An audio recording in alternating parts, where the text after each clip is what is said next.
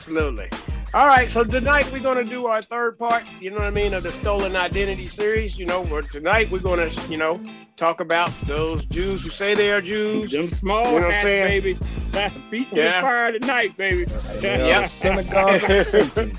Exactly. You know what I'm saying? And we're going to show it, and you know what I mean, and let people, you know, you make your own decision, whatever y'all want to, you know, but you pray about it. If you don't believe it, pray about it, talk to the Lord. If you haven't watched the first two videos, you know, the first video we showed how the, the 10 tribes had their identity stolen. The second video we showed how, you know, the real Jews, the true Jews, well, uh, migrated South Judah, yep, migrated south into Africa. You know, so you you have to watch it, you know, to see it. Tonight we're going to show how you know the Jews that we hear today are Jews, how they came into the identity. All right, Fake Jews, yeah, yeah, yeah, small hats. yeah. All right, so we're first, uh, brother Leroy, uh, Webster, bring out Webster. Webster. Yeah, okay, let's get that definition of identity. All right, let's go. Let me pull it up. Here we go. All right. Identity. The fact of being who or what a person or thing is. A close similarity or affinity. Let's say that one more time. The fact of what? The fact of being who or what or a person or thing is. Okay. Uh, Who it or what a person or thing is, right? So your identity is who you are, right? Mhm. And Okay. The, and, the, and the characteristics, it says the characteristics determining who or what a person or thing is as well. Right. Okay. So the identity. All right. Very good. All right. So now we're gonna we just before we get into all this other stuff, let's let's talk about how Satan tried to first, you know what I mean? How he comes at your identity and how he tried to come at Jesus' identity, right? And we'll and we'll continue on and expose things.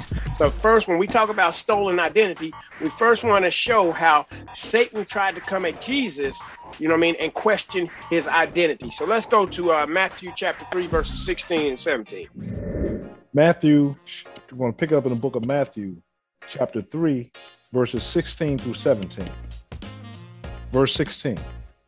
And Jesus, when he was baptized, went up straightway out of the water, and lo, the heavens were opened unto him, and he saw the Spirit of God descending like a dove and- lighting upon him. And lo, a voice from heaven saying, This is my beloved Son, in whom I am well pleased uh, Matthew chapter 4. I'm going to pick it up in verses 1 through 10. Verse 1. Then Jesus was led up in the spirit into the wilderness to be tempted of the devil. And when he had fasted 40 days and 40 nights, he was afterward and hungry. And when he, and when the tempter came to him, he said, If thou be the Son of God, command these stones to be made bread. But he answered and said, It is written, Man shall not live by bread alone, but by every word that proceedeth out of the mouth of God. Then the devil taketh taketh him up into a holy into the holy city, and setteth him on a pinnacle of the temple, and saith unto him, If thou be the Son of God, cast thyself down, for it is written, He shall give his angels charge concerning thee, and in their hands they shall bear thee up lest at any time thou shalt dash thy foot against a stone. Jesus said unto him, It is written again, Thou shalt not tempt the Lord thy God. Again, the devil taketh him up into an exceeding high mountain, and showeth him all the kingdoms of the world, and the glory of them, and saith unto him, All these things will I give thee, if thou wilt fall down and worship. Then saith Jesus unto him, Get thee hence, Satan, for it is written, Thou shalt worship the Lord thy God, and him only shalt thou serve. Okay. So we see where where where Satan came to tempt Jesus. And this is what you have to understand, and this is what people have to see how he tried to attack Jesus' identity. In mm-hmm. Matthew 3 and 17, we see where, and lo, a voice from heaven saying, This is my beloved son, right? In whom I am well pleased, right? So Yeah. now we just talked about, you know, identity of it being who you are. Well, the Most High just told and told everybody who Jesus was. Well, Yeah. You Yeah. are my son, right? Yeah. mhm. So that's his identity. You are the son of God as spoken by the Father. Yep. Mhm. And here come the But- thief. And here Uh-huh. comes the thief, right? and I'm glad you used the word thief thief, 'cause because when a it is. thief comes, a thief comes, and what does a thief do? A thief Mhm. usually tries to attack your identity, right? Mhm. You know, or hide their identity, conceal their identity, or do something like that, you know, in some type of slick way, right? Mhm. So the thief comes and then says, If thou be the Son of God, what do you mean if I be the Son of Right. God? Just right? told you who Right. he was. Right. Just was no- told you who he was, right? And, and there was no question as and he and, and Christ knew who he was. He knew his Exactly. identity. But, Exactly. but we but we Mhm. saw we we saw this tactic from Satan before. Yes, we Yeah. did. Yeah, Yeah. yeah. right, Did right. the same did Right. the same thing to Eve. Yeah, Yeah. both Yeah. She Amen. she knew what she that. Wasn't supposed to do, Amen. but Right. he used the Right. same tactic. Used the Mhm. same Right. tactic. And, and right. what he Trying to change God's word, right? Mhm. And, and the key thing with that is, what did he say? You can be like God, and you can be Yeah. as a Mhm. God, but not taking into consideration that you're already made in the likeness and image of God. So Adam Right. and Eve, That's right. You know what I'm saying, fell back Right. and, and got to the deception of wanting the, the power and not knowing they already had the power because you're made in God's likeness and image. You see what I'm? Exactly. It, worked, it worked once. Let me try it again. Let me try it again. Yeah, Right. exactly, exactly. And we see And how I'm glad y'all brought that up. I'm glad that y'all yeah. brought that up because that's exactly what happened, right? So Yeah, now he yeah. comes back and he's trying it again. If you be the Mhm. son of God, you know what I mean? Well, you know what God has said, but then you're going to try to make me doubt who I am, Who I right? am.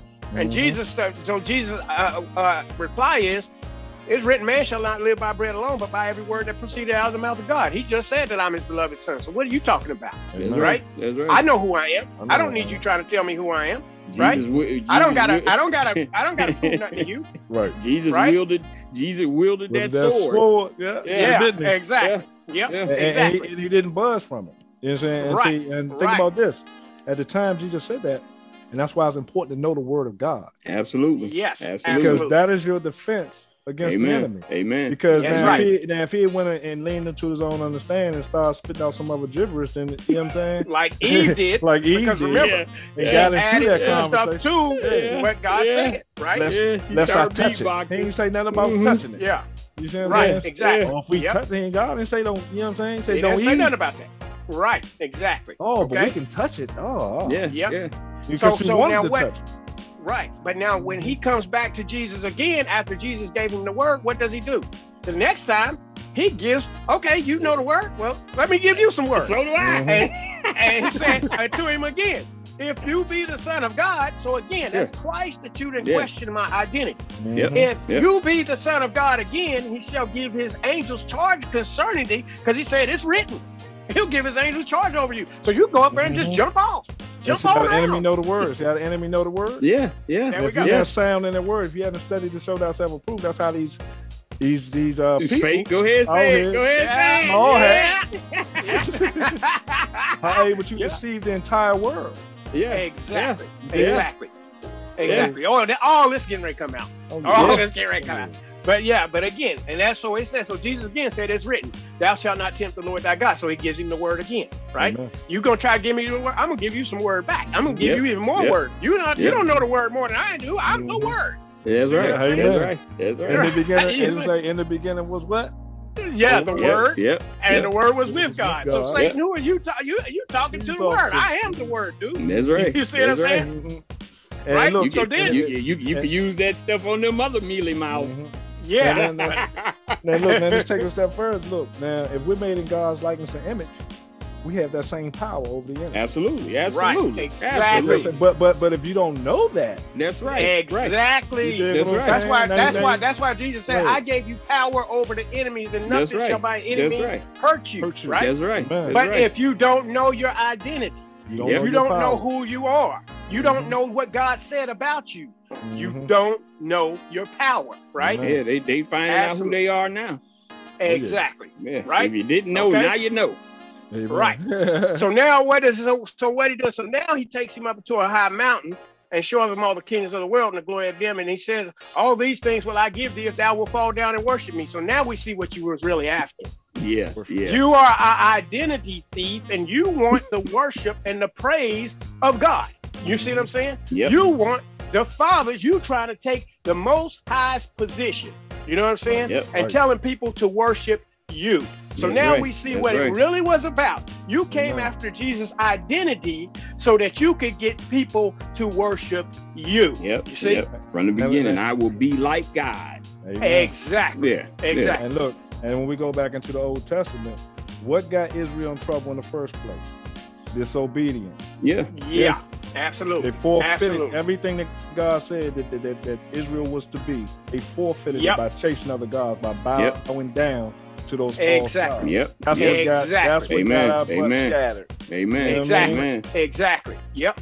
And so just like you said, God had gave Adam and Eve dominion in the garden. You were already like God because he gave you dominion That's on the earth That's like right. him. Amen. You see what I'm saying? Now he comes to Jesus and he tried to get Jesus, you know what I'm saying, to, to give up his dominion. Jesus didn't do it. But this but he went to Israel before Jesus, and guess what? Israel was supposed to be the chosen people, Yep. the ones who were supposed to be the head of the nations. And what did they do? They gave up their their authority by going after false gods. You That's see right. what I'm saying? That's right. Then became the So- tail of the nation. There you go. There you go. Right. And so that's where we're going to go with all of this and show everybody how it's the same thing. Now we proved in the first video, we showed you in in in uh in Kings how that the 10 tribes, that once they got kicked out, they came back and they got their identity. Well, they never came back. The 10 tribes left out, and then they brought Babylonians and all this type of stuff in there and called Right. them Samaritans, and they wasn't the real tribes. You see what I'm saying? Okay. And, and and and Sister Mary made a good point to me, and I want to make sure I give her a shout, Shout out, out. Sister Mary. Shout I out, told you, Sister Mary. Amen. What's up, Sister Yep. Mary? yeah, I told I told you I told her I was gonna steal this from her. We was talking the other day, and she said, "You know what?" And, and I thought about you too, Bob, when she said, "She said, you know what? The thing about Israel's identity, it connects them to the covenant." Amen. I said, "You know what? You're right. Yeah. Yeah. I'm Yeah. stealing yeah. that. I'm Yeah. stealing that. Yeah. Yeah. You know what I mean?" And, and, and I thought about you, Bob, Uh-huh. because you know we talk about how Yeah. Creflo talk about Yeah, the yeah, covenant Creflo. connector is Yeah. the tie. Mhm. Yeah. You know what I'm saying? Right. Yeah, Right. yeah. But you think about it, once the when the ten tribes was out of there and they didn't have their identity, they don't know that you're the covenant people, right? Right. Right. Right. Same thing, the same thing with the Southern Kingdom once they got kicked out of there, and that's the problem that we have here now. Once you don't know who you are, when they stripped you of your identity, you don't know that you have a covenant with That's the. Most High. You right. are the covenant people, right? That's right. That's right. Okay. And, and, All right. and, So now, and the go sick thing and the sick thing about that is we have people again, we know what we're talking about. when We talk about the people back then, but even today, uh, when we talked about it in our last video, we talked about how who was the king? Uh, was it Nebuchadnezzar? Yeah. Nebuchadnezzar How- and How he wanted Daniel in the house. Why did he want Mhm. Daniel in the house? Because he could he could uh, he could uh, you know disseminate the dreams and, and, and you know what I'm saying and, and tell people what you know let Mhm. you know let the king know what what the dreams meant. But he Right. also knew the, the power of Daniel. So again, remember he wanted Daniel in the house so his house would be blessed. You see what I'm Right. saying? So when we go back to this identity, they think that Mhm. by stealing it, that they can yeah. get Yeah. into God's Yeah. blessing. You know, they can get Right. into God's Yeah. graces, and it don't work that way. Yeah. It don't And- work and- that way. Exactly. Mhm. And we're going to show how they even deceived the Christians because the Christians, Yeah, the Gentile converts, once they got in, guess what? The blessings is on y'all because y'all accepted Christ. You see what I'm saying?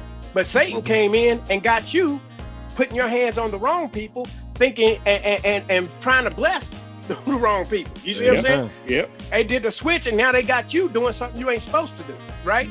Yeah. But now let's go and show how Satan, you know what I'm saying, you know, likes to likes to change his identity, likes to become who he's not, right? Plays those identity things like we talked about with a thief. So now let's go to Second Corinthians chapter 11. All right. All right, Second Corinthians 11, verses 13 through 15.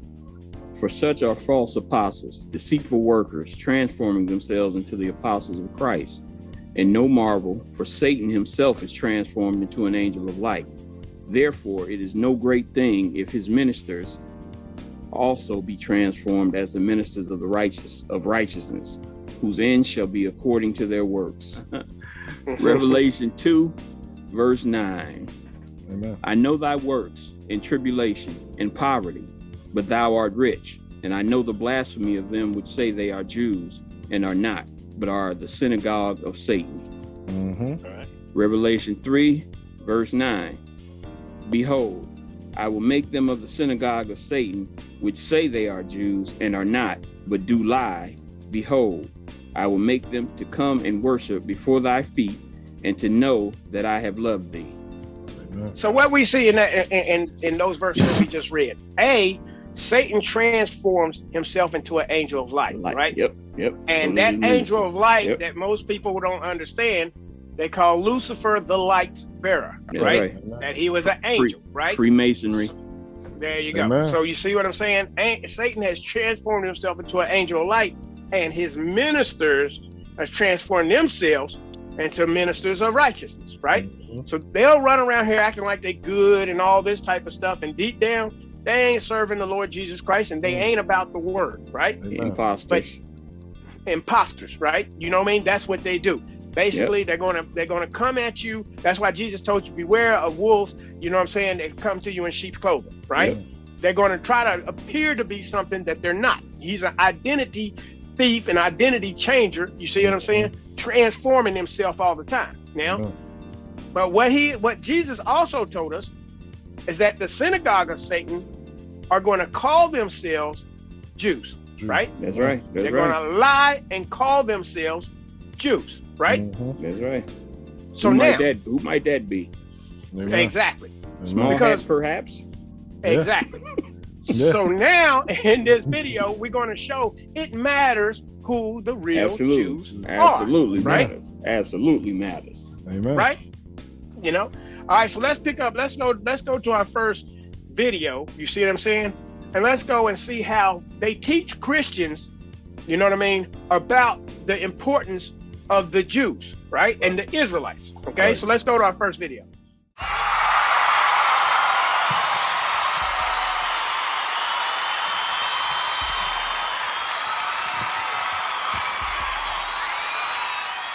Almighty. Christians have been taught Beulah land is heaven.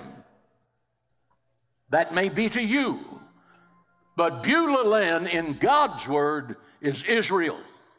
Why? Because Israel is God's firstborn son in Exodus chapter 4 22.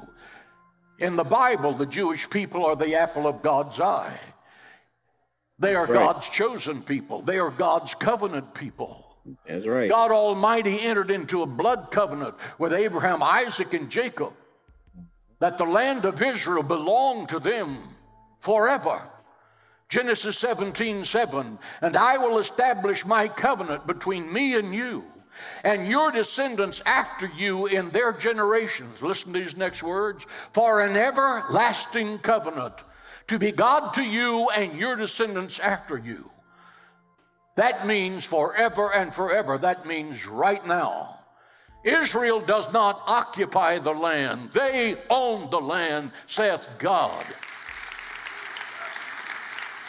Israel is not a political issue, Israel is a Bible issue. When God created the heavens and the earth, He was the owner of the earth. And as the owner of the earth, He made a real estate contract with Abraham in the 17th chapter of Genesis that the land belonged to the Jewish people. Therefore, the United Nations and European Union have no say in the future of Israel. That's all established in the Word of God. Add to that that God says, I'm going to be their defender. In Psalms 121 4, He that keepeth Israel. The word keepeth is a military term. He that guards and defends Israel neither slumbers nor sleeps.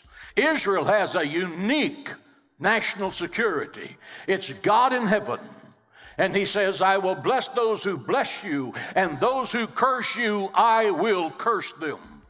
Whether it's a nation or a person. Now let's see if y'all caught this, right? What did he say? He said the covenant, God made this covenant with the Jewish people. Amen. Right. Did God right. make the covenant with the Jewish people, Nope. or is that covenant with the Israelites? It with the See? Israelites. Israelites. Yep. See, they've substituted the Israelites Good catch, and threw in the Jewish people, right? Amen. Exactly. So now we're going to see, you know what I mean? Because we know that everything is about the descendants, just like he said, the descendants of Israel. So Yep. it matters who the descendants of So Israel, is. are. Yep. Yep. Amen. You Yep. see what I'm saying?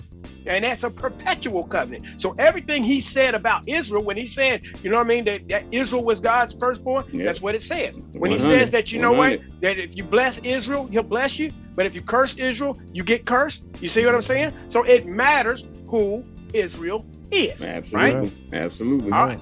All right. So now let's go and see what Jesus said. Another thing that Jesus said. So let's go Luke 21. Luke, the book of Luke, going to pick it up in chapter 21 and verses 20 through 24. Verse 20. And this is Jesus speaking, by the way. And when ye see Jerusalem compassed with armies, then know that the desol- desolation thereof is nigh. Then let them which are in Judea flee to the mountains, and let them which are in the midst of it depart out, and let not them that are in the countries enter therein too. For for these be the days of vengeance, that all things which are written may be fulfilled. But woe unto them that are with child, and to them that give suck, in those days, for there shall be a great distress in the land, and wrath upon this people. And they shall fall by the edge of the sword, and shall be led away captive into all nations, and Jerusalem shall be trodden down of the Gentiles, until the times of the Gentiles be fulfilled. All right. So we see what Jesus said, and what's very, very important in verse 24. They shall fall by the edge of the sword. The true Judeans, you know, when, when the Romans surrounded them, as we talked about in AD 70, Amen. they got killed, and some of them were led away captive into all nations. And Jerusalem shall be trodden down of the Gentiles, right? Until the times of the Gentiles be fulfilled, right? Okay? So now, if those people are the real Jews, if they're really Jews in there, then the times of the Gentiles will be fulfilled, right? Yep. Yep. It would be fulfilled. It would be an end of story, right? So there ain't no more coming in, right? You see what I'm saying? Because Israel has been woken up, and now, you know what I'm saying? The times of the Gentiles is over. Amen. But now, if that's not true, if these people, because Jesus told us there's going to be people who said they are Jews and are They not. are not. You, know, you see? And, And the the- real Jews, he told us, was going to be carried captive into all nations. When Yeah. were they ever put on slave ships? And when were they ever carried captive into all nations? we haven't Never. seen it. We Never. haven't- We haven't seen seen it. We ain't seen it. But we see now woolly haired, feet the color of brides people, we've seen them put on ships and carried Mhm. away captives into many nations, Oh right? yeah. Oh yeah. And, and enslaved for over 400 years. Exactly, Yep. right? Amen. So it seems like that prophecy. And then remember, we read where it said that the branches would be cut down beyond the rivers of Ethiopia, Amen. right? So that means that, you know what I mean? And when we read where the ships were coming, you know what I mean? The vessels upon the waters, we read that in Isaiah 18, that that happened beyond the rivers of Ethiopia. So Yep. that the, the Jews being cut down, the real Jews, had to happen beyond the rivers of Ethiopia, which places that in Africa, Amen. Yeah. right? Yep. So we got a problem going on here with somebody's running around here claiming to be something that they're not. That's now right. let's let's go and let's show where the Bible tells us about the Gentiles, right? Amen. All right, Genesis 10, verses 1 through 5. Now these are the generations of the sons of Noah, Shem, Ham, and Japheth. And unto them were sons born after the flood. The sons of Japheth, Gomer, and Magog, and Medai, and Javan, and Tubal, and Meshech, and Tiras. And the sons of Gomer, Ashkenaz, and Riphath, and Togarmah. And the sons of Javan, Elisha, and Tarshish, Kittim, and Dodanim. By these were the isles of the Gentiles divided in their lands, every one after his tongue, after their families, in their nations. Okay. Amen. So the Bible clearly tells us that Japheth is the father of the Gentiles, right? Mm-hmm. Clearly tells us that. And there's two was named. So Japheth's son's name is Gomer. And Gomer has a son, and this is important. The sons of Gomer, so Japheth's grandson, happens to be Ashkenaz and Togarmah. Remember these names, okay? Amen. Because we're going to come back to those, okay? All right. So now let's go to our next. Uh, let's go and show you the land. So let's go to the lands. Hold on one second. So when we look at this map, you know what I mean. The maps according to the, to the Hebrews, we see down here. Again, this was Ham's land down here, right? All right. So all that's Africa. All that's down in Africa. That's Egypt. Remember, Shem's land is down through here, right? But what we see is here with Japheth's land. All right. And what do you see? Now, this is Asia Minor. As we can see, here's Greece over here. Okay. With Dodanim, right? The, Rob just read all these people. Here's Ashkenaz right here in Turkey, right? Now, mind you, you know what I mean? Magog and all this. Here's the Caucasus Mountain. So everybody that was north, the Gentiles basically were those who were in Asia Minor up through Turkey all the way into Europe, right? Uh. Okay. And here's Togarmah right here. Okay the two grandsons of Japheth. Okay. Yep. So you see where they were, you know what I mean? And they were the Gentiles. This is where the Bible tells us that all of these people were the Gentiles. Okay. So now let's go to let's go to our next videos and let's go and show some more videos because we got a we got a problem here. We got people saying they're Jews, you know what I'm saying? And we got a, a, a, controversy. Who is the real Jew? Right? That's right. You about to put it to All rest. Right. That's yes, right. Sir. All right, so let's go to some videos.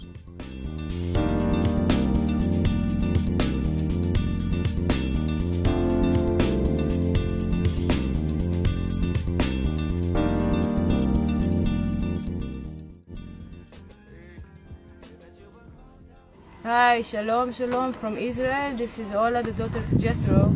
And I just heard that you black people that was stolen from Africa to America that you don't know who you are, but you are the children of, of Yahweh, the children of Israel. And I'm telling you, you have to come back to your homeland, here to Zion, to Jerusalem, because us, the Gentiles, we do need you. We need you to come and pray because you are our saviors. You're the one that was chosen by Yahweh to live in this land, not the Jewish people, it's you. You were stolen from Africa, they deceived you, they told you that you are slaves, but you actually the children of Israel. And it's time just to come, come back. Come for, for, your people, come back for us, come back for the whole Gentiles, because only you, only you gonna save us. So please come back to Zion. First of all, let me just reveal some things. First of all, is that um, uh, the Jews who are brought in Israel, most of them are white. Not most of them, almost all of them are white, including me. I was brought in Israel from a country which is called Bulgaria. It's a European country, and I can tell you that in every European country there are Jews, and there is so-called organization Jewish Agency, which is trying to take those Jews to Israel. Uh, if you track, if you track the, the, the, the, this organization, you can find out that this is not an Israeli organization. This is an American organization. Jewish Agency is an American organization which has the, exclu- the, the exclusive right to decide who is Jewish and who is not on this planet, and who to be taken to Israel and who's not. Now, if you if you if you do research, you will find out that in Africa, in Black Africa, they're looking for Jews only in Ethiopia. They bring Jews only from Ethiopia. And I can tell you by knowing a lot of people, Ethiopian Jews here in Israel, that they're treated very badly. Very badly. And many of them commit suicide because they cannot take it. They come from some place, Ethiopia, they didn't, don't have much there, but they live decent life. And they, when they come here and try to be humiliated and, and, and so on, they, some of them don't, cannot even take it. Now, what I'm what I'm trying to say is that um, why why why from each white country this Jewish agency is trying to to uh, bring Jews, and when it's about Black Africa, they're going to Ethiopia, and this is where they stop. The only one place. Now, um, because of the same thing, they're trying to do the white supremacy here. They try to to to bring white guys here and to take the supremacy over Arabs, which are the local citizens, and over blacks, which are So far, they're only the Ethiopian Jews. Now, um, what I'm trying also to say is that that um, another question is why? Why why America needs Israel? There's no in Israel. There's no there is no oil like in other Middle Eastern countries. There's no nothing they can be attracted to. But why do they do all these things? Why do they invest money, bring white people, and so on? When they build their system of white supremacy, just like in America, they build in Israel. Why? And I can tell you why. Because the true Jews, according to the Bible, you can check it in the Bible, you can read Job 30, 30 and some other places. They have never been white. They have been people of color. And they have not stopped in Ethiopia. They were in West in Ethiopia, Sudan, and they have settled in West Africa. From West Africa, they have been taken as slaves to America brothers and sisters, blacks of America, it's you. You are the true Hebrews. You are the true Hebrews from the Bible. America gonna do everything, gonna invest as much money as it has, uh, gonna fight as much wars as they as they can, gonna invite as much weapons as they can, just to hide this away from you. Gonna take Israel, gonna bring white people here, and to tell you these are the Jews, gonna do gonna kill you gonna kill arabs gonna mistreat white people like this guy just to tell you this lie that that you are nobody and we are the jews with all the history and so on. It has been deleted your history. You don't know who you are. Don't forget about it. This is why it, uh, america has been taking your history away. Never to find out that it's all about you I'm telling you this, please. I don't know. I don't ask you to come to Israel and to start a revolution. I'm just try, asking you to start thinking this way, to believe me a little bit, because I'm living in Israel and I'm part of this uh, injustice. I really believe that people like me and you, we can we can bring the justice back. Right now we see, you know, what I mean, you got. Uh, uh, uh, I take it she's Palestinian, and she said, you know what I mean, African Americans is you you're the children of Israel, right? Then you got the dude who's an Israeli, and he says, it's y'all. Y'all are the children of Israel, right? And and the bottom line is, you know, what he even said, he said America had something to do with it. And this is mm-hmm. where we're going to really get into. Yeah. You know what I mean? America and Zionism, right? Yeah. And why they stole the identity, and then they're going over here and why they're doing all of this stuff, right? Uh-huh. You know, and how they, they orchestrated wars and everything behind Everything. this, right? yeah. Right? Remember So, one thing. that- remember, like, how, and one thing that the lady, uh, the, the young lady, one one thing she, Ola. she re, Ola, Ola, Yeah, Ola. yeah, yeah. Come on, man. Yeah. Back it down. We know you know her name. Back it down, bro. yeah. I was making sure due respect is paid, and then a woman. Oh, yeah, yeah, yeah, yeah. but real quick, one of the things that uh, uh, you know, I'm sure y'all quoted was she referred to herself as a what? A Gentile. Yeah, Right. yeah, absolutely. You heard it from Right. her mouth. She called herself Right. a Gentile. right. Right. And to be honest with if we really get deep into it, the Bible does not call the descendants of Ham Gentiles. That's right. right. That's right. We just read that the Gentiles were the sons of Japheth, right? Yep. Yep. But Gentiles has come the same way the term Jew has evolved into all of Mhm. Israel. Right. Jew, Gentiles evolved into everybody outside of Israel, right? Amen. But the Bible clearly tells us that the sons of Japheth were the Gentiles, Gentile. right? Amen. Okay, that's very good. I'm glad you brought that up. But now, but another thing that the guy said, he said you can go and check Job 30 30, right? So let's go look at Job 30 30 and let's see what it says about that. Why he brought Job 30 30. He said you can go in the Bible and you can see it in Mhm. Job 30 30. So let's see what Job 30 30 says. See what the word of God says. Absolutely. Book of Job. Going to pick it up in verses. We're going to pick it up in chapter 30, verse 30. My skin is black upon me, and my bones are burned with heat. Okay, so we see that Job described himself as a black man, right? Mhm. Now let's go Lamentations. La- We're going to pick it up in the book of Lamentations. I'm going to pick it up in verses in chapter 5, verses 10 through 11. Verse 10. Our skin was black like an oven because of the terrible famine. They ravished the women of Zion and the maids in the cities of Judah. Now, remember what Ola said in the video about come back to Zion, right? Yep. And he, she just now said, now, now the scripture tells us the women in Zion and the maids in the cities of Judah, that their skin was black like enough, right? So Yep. we see in Job where he describes his skin as being black, and the women in Zion that they were described as being black. You know what I mean? And all Mhm. the people of Judah, right? So now we're seeing where we got testimonies of some people saying that the blacks and the air and, and what's name, and even the Bible says it's people of dark skin, right? Amen. But now let's see what you know. what I mean, we get where they say the white people are the Jews, right? So let's go and get some videos and let's see what they got to say. Amen.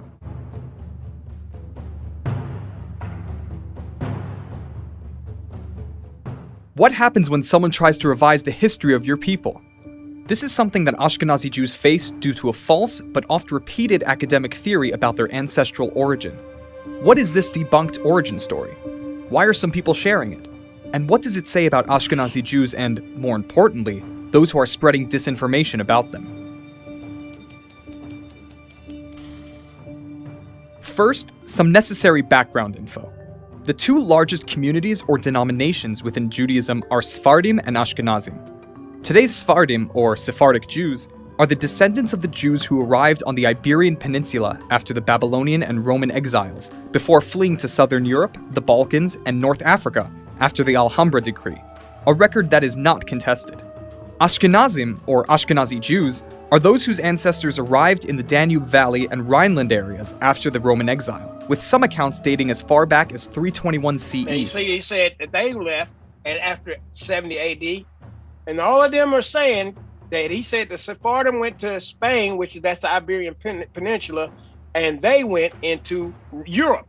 Well, remember, you see the boot in Italy, Italy, that's the seat of the Roman Empire, right? Mm-hmm. Yes, sir. But there are some who call these historical events into question. A hypothesis dating back to the late 1800s states that Ashkenazi Jews are all descendants of the Khazars.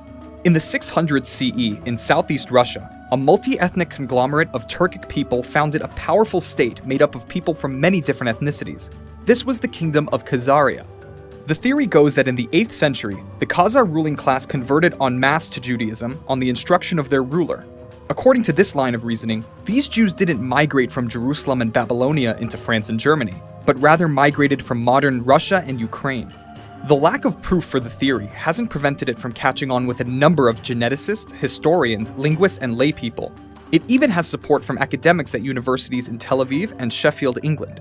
The problem is that the kingdom of Khazaria was destroyed sometime in the late first millennium, and the next time we have records of Jews in that area, today's western Ukraine and Belarus, is over 400 years later. Additionally, DNA tests have shown a close relationship between Ashkenazi and Sephardic Jews, as well as a connection to other Middle Eastern people, but no connection between Ashkenazi Jews and the Khazars. The Khazar theory is also dead on arrival from a linguistic perspective. The main language of the Ashkenazi Jews, Yiddish, shows no trace of Turkic origin. Yiddish is considered a Germanic language, with Hebrew and Aramaic words thrown in. As the Yiddish linguist and author Alexander Beider puts it, the personal names and surnames borne by Jews in Eastern Europe during the last six centuries, as well as the Yiddish language as a whole, do not contain any link to Khazaria. So, who's pushing this theory? Well, certain academics, for one. Their hypothesis got a big bump in 1976 when a writer and amateur anthropologist named Arthur Koestler published the now debunked book, The Thirteenth Tribe. Koestler thought that by proving Ashkenazi Jews were actually more European than Semitic, it would upend the foundations of European anti Semitism. Ironically, Koestler's claims only served to feed anti Semitism by accidentally resurrecting a theory that would only go on to serve the interests of bigots and the uninformed. After its publication, supporters expounded upon his claims even further, while detractors called it anti Semitic. But why would the hypothesis be anti Semitic instead of just another scholarly theory? It makes more sense when you look at some of the recent supporters of the theory, especially those outside of academia. These include online commenters, who use it to delegitimize the Jewish people by classifying them as a fake nation, and even political leaders like the Palestinian Authority leader Mahmoud Abbas. In a 2018 speech delivered to the Palestinian Liberation Organization's legislative body, Abbas quoted Koestler and his theory that Ashkenazi Jews are descended from the Khazars, not the biblical Israelites. The allure of the hypothesis to someone like Abbas is clear. It delegitimizes Jewish claims on the land of Israel. If Ashkenazim came from what's now Russia, then the assertions of an ancestral nationhood in the ancient land of Israel are easily dismissed. Too bad for Abbas that the science is not on his side, and that the genetic findings of Ashkenazi Jews point to people of Middle Eastern origin, not Turkic or Russian. It's also worth stating that the theory, and the subsequent not your land accusations thrown at Jews, completely discounts Sephardi and other Jewish communities, and makes it seem as if Ashkenazim and Ashkenazim alone are the only Jews, which is of course preposterous. It's not a stretch to say that throughout the centuries, anti Semitic, xenophobic, and racist tropes have followed Now a look similar. at that. Now you got a racist. Why is that black people? You see what I'm saying? Right. You see how they try to slide that in there? Like, oh, oh, you know, this is this is this. You know, they're racist. Now watch this. Watch how they slid this in here. Right. path. Unfounded ideas that gain See that?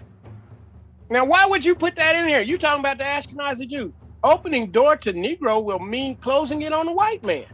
What did you put that in this for? Wow. You see that? Mhm. And you see they do it so fast. You see what I'm saying? Yeah. But- yeah. It's that you don't catch it, right? Yeah. Yeah. Oh yeah. a foothold because they serve the interests of anti religious bigotry, claims of genetic superiority, and political ostracism. See those black people? It's always fun to learn Yeah. about conspiracy theories. Sure, everyone loves believing that Tupac is still alive, that there was a second shooter on the grassy knoll, or that the moon landing was nothing but a Stanley Kubrick short film. But let's remember that they are just that conspiracy theories. They're an entertaining showcase of the human imagination, but to take them seriously without doing some research, not a good look. Ashkenazi Jews are definitely Jews, despite any debunked hypotheses that claim otherwise. In a world with limitless information at our fingertips, it's our responsibility to be informed consumers and to make an effort to sort out fact from fiction. Thanks for watching. If you like what we're doing here, consider No. subscribing. Yeah. Oh. So you see- you see there? Look, yeah. Look who doing. Yeah, look who's doing this, right? You see what I'm saying? Hey, Jerry So he's Lewis. sitting there. Yeah. All right. Hey. But y'all peep the fact that he used no biblical. Oh, No, no, None. they don't want to no biblical Bible. reference. Yeah, He they don't want to go to the. Bible. None. None Yeah. whatsoever. None. Now let's go and show the Roman Empire because he said that they were fleeing the Roman Empire. Let's go. You know, he said that they went all throughout Europe. Well, let's mm-hmm. go look at the Roman Empire and let's see how much sense does it make for you to be leaving, running from your enemies, but you're going to go right into all of the lands of the Roman Empire. Right. Let's go and look. At Real quick before you do that, or are you doing it, that's why I made the reference to the fact that he never went into the Word of God. Yeah. hmm You see what I'm saying? Because Mhm. if you don't know Scripture, you that sound convincing. If you don't know, it sound okay. Well, that sounds right. Because remember, the, the words that that we use now are interchangeable to cover a mass of people. Like again, we say the Gentiles. You know, the way they interchange that word is to Right. say that's all white people, or they all this, Right. that, and the third. You see what I'm saying? But we see that when Right. you refer to the Word of God, the way way Christ referred to the Word of God, you're not deceived. You see what I'm Exactly. saying? But I just wanted to Yep. point it out. He didn't. He used no Bible reference. Then we just did this our third video showing where the Yep. Word of God shows who Yep. are the true Israelites. Absolutely. Exactly. Absolutely. And and did you notice the words that he used? Debunked and conspiracy theory. Yeah, that's Amen. right. Everything That's was debunked conspiracy theory. Yep. Debunk right. conspiracy theory. See, they put those little key words into your head that you would automatically trigger and not listen to somebody telling you that they they're not the real Jews, they're Khazars. Right. Now, this map, as you can see, is the map of the Roman Empire, right? So as we see, Judea is down here, right? Right? So when they fled, and as he tried to say, that they fled up into this area. Why would you flee when this is the seat? That's Rome right there. Right. Why would you run Right. into all of these Right. regions, into North Africa and over here in Spain? All of that is the Roman Empire. Why would you flee in those areas? Instead of trying to get away from your people, I mean, away from these people that's coming to kill you and take you captive, why wouldn't you flee south in this way to get out of there? You Yeah. see? Amen. Amen. Nobody's gonna run into the same lands that they occupy. These people are Right. trying to kill you. Yep. Yep. You see what I'm saying? So Makes we just no sense. so we just debunked that. Yeah. Right. Yeah. Yeah. Right back at you. Yeah. Yeah. yeah. right. Okay, so now let's go and I'm gonna pull up an article from the Times of Israel, right? Where he talked about, you know what I mean? Oh, it's no uh no genetic, you know, ties and all this. Well, I'm gonna pull up an article from from uh from 2014, and we're gonna read this article. So let's go to the article. All right, so this article, as you can see, is from the Times of Israel, right? Amen. And as we can see, it's March 18th for 2014, right? So let's just kind of see what it is. I'm not going to read it all, but we'll just go through it, right? Our Russian and Ukrainian correspondents Hirsch Ostafer and Iz Grosser Spass also contributed to this story, delayed due to the crisis over the Crimean uh, referendum, right? This is what happened in 2014 when, when Russia annexed Crimea, right? You know what I'm saying? And we're going to see what was happening here. Anyway, uh, let's pick it up here. Only yesterday came news that Syrian rebels plan to give Israel the Golan Heights in exchange for creation of a no-fly zone against the Assad regime. In an even bolder move, it is now revealed Israel with, will, will withdraw its settlers from communities beyond the settlement blocks and relocate them at least temporarily to Ukraine. So you see, they wanted to go back into those lands, Ukraine, right, and and, and leave Israel, right? Mm-hmm. Ukraine made this arrangement on the basis of historic ties, see, historic ties, in exchange for desperately needed military assistance against Russia. This surprising turn of events had an even more surprising origin genetics, right? A field in which Israeli scholars have long excelled. It is well known that sometime in the 8th to 9th centuries, the Khazars, a warlike Turkic people, converted to Judaism and ruled over a vast domain in what became southern Russia and Ukraine, right? What happened to them after the Russians destroyed that empire around the 11th century has been a mystery. Many have speculated that the Khazars became the as- ancestors of Ashkenazi Jews, right? Because the Khazars converted, right? Right, Now this right. is this is the times of Israel. This is their own article, right? Arabs have long cited the Khazar hypothesis in attempts to deny a Jewish historical claim to the land of Israel. So the Arabs over there know that y'all not the real Israelites, right? During the UN debate over Palestine partition, Chaim Weizmann responded sarcastically, It is very strange. All my life I have been a Jew, felt like a Jew, and I now learned that I am a Khazar. In a more folksy vein, Prime Minister Golda Meir famously said, Khazar Schmazar, there is no Khazar people. I knew no Khazars in Kiev or Milwaukee. Show me these Khazars of whom you speak, right? So you see, this is where, and now you're getting ready to see where it comes out about the 13th tribe.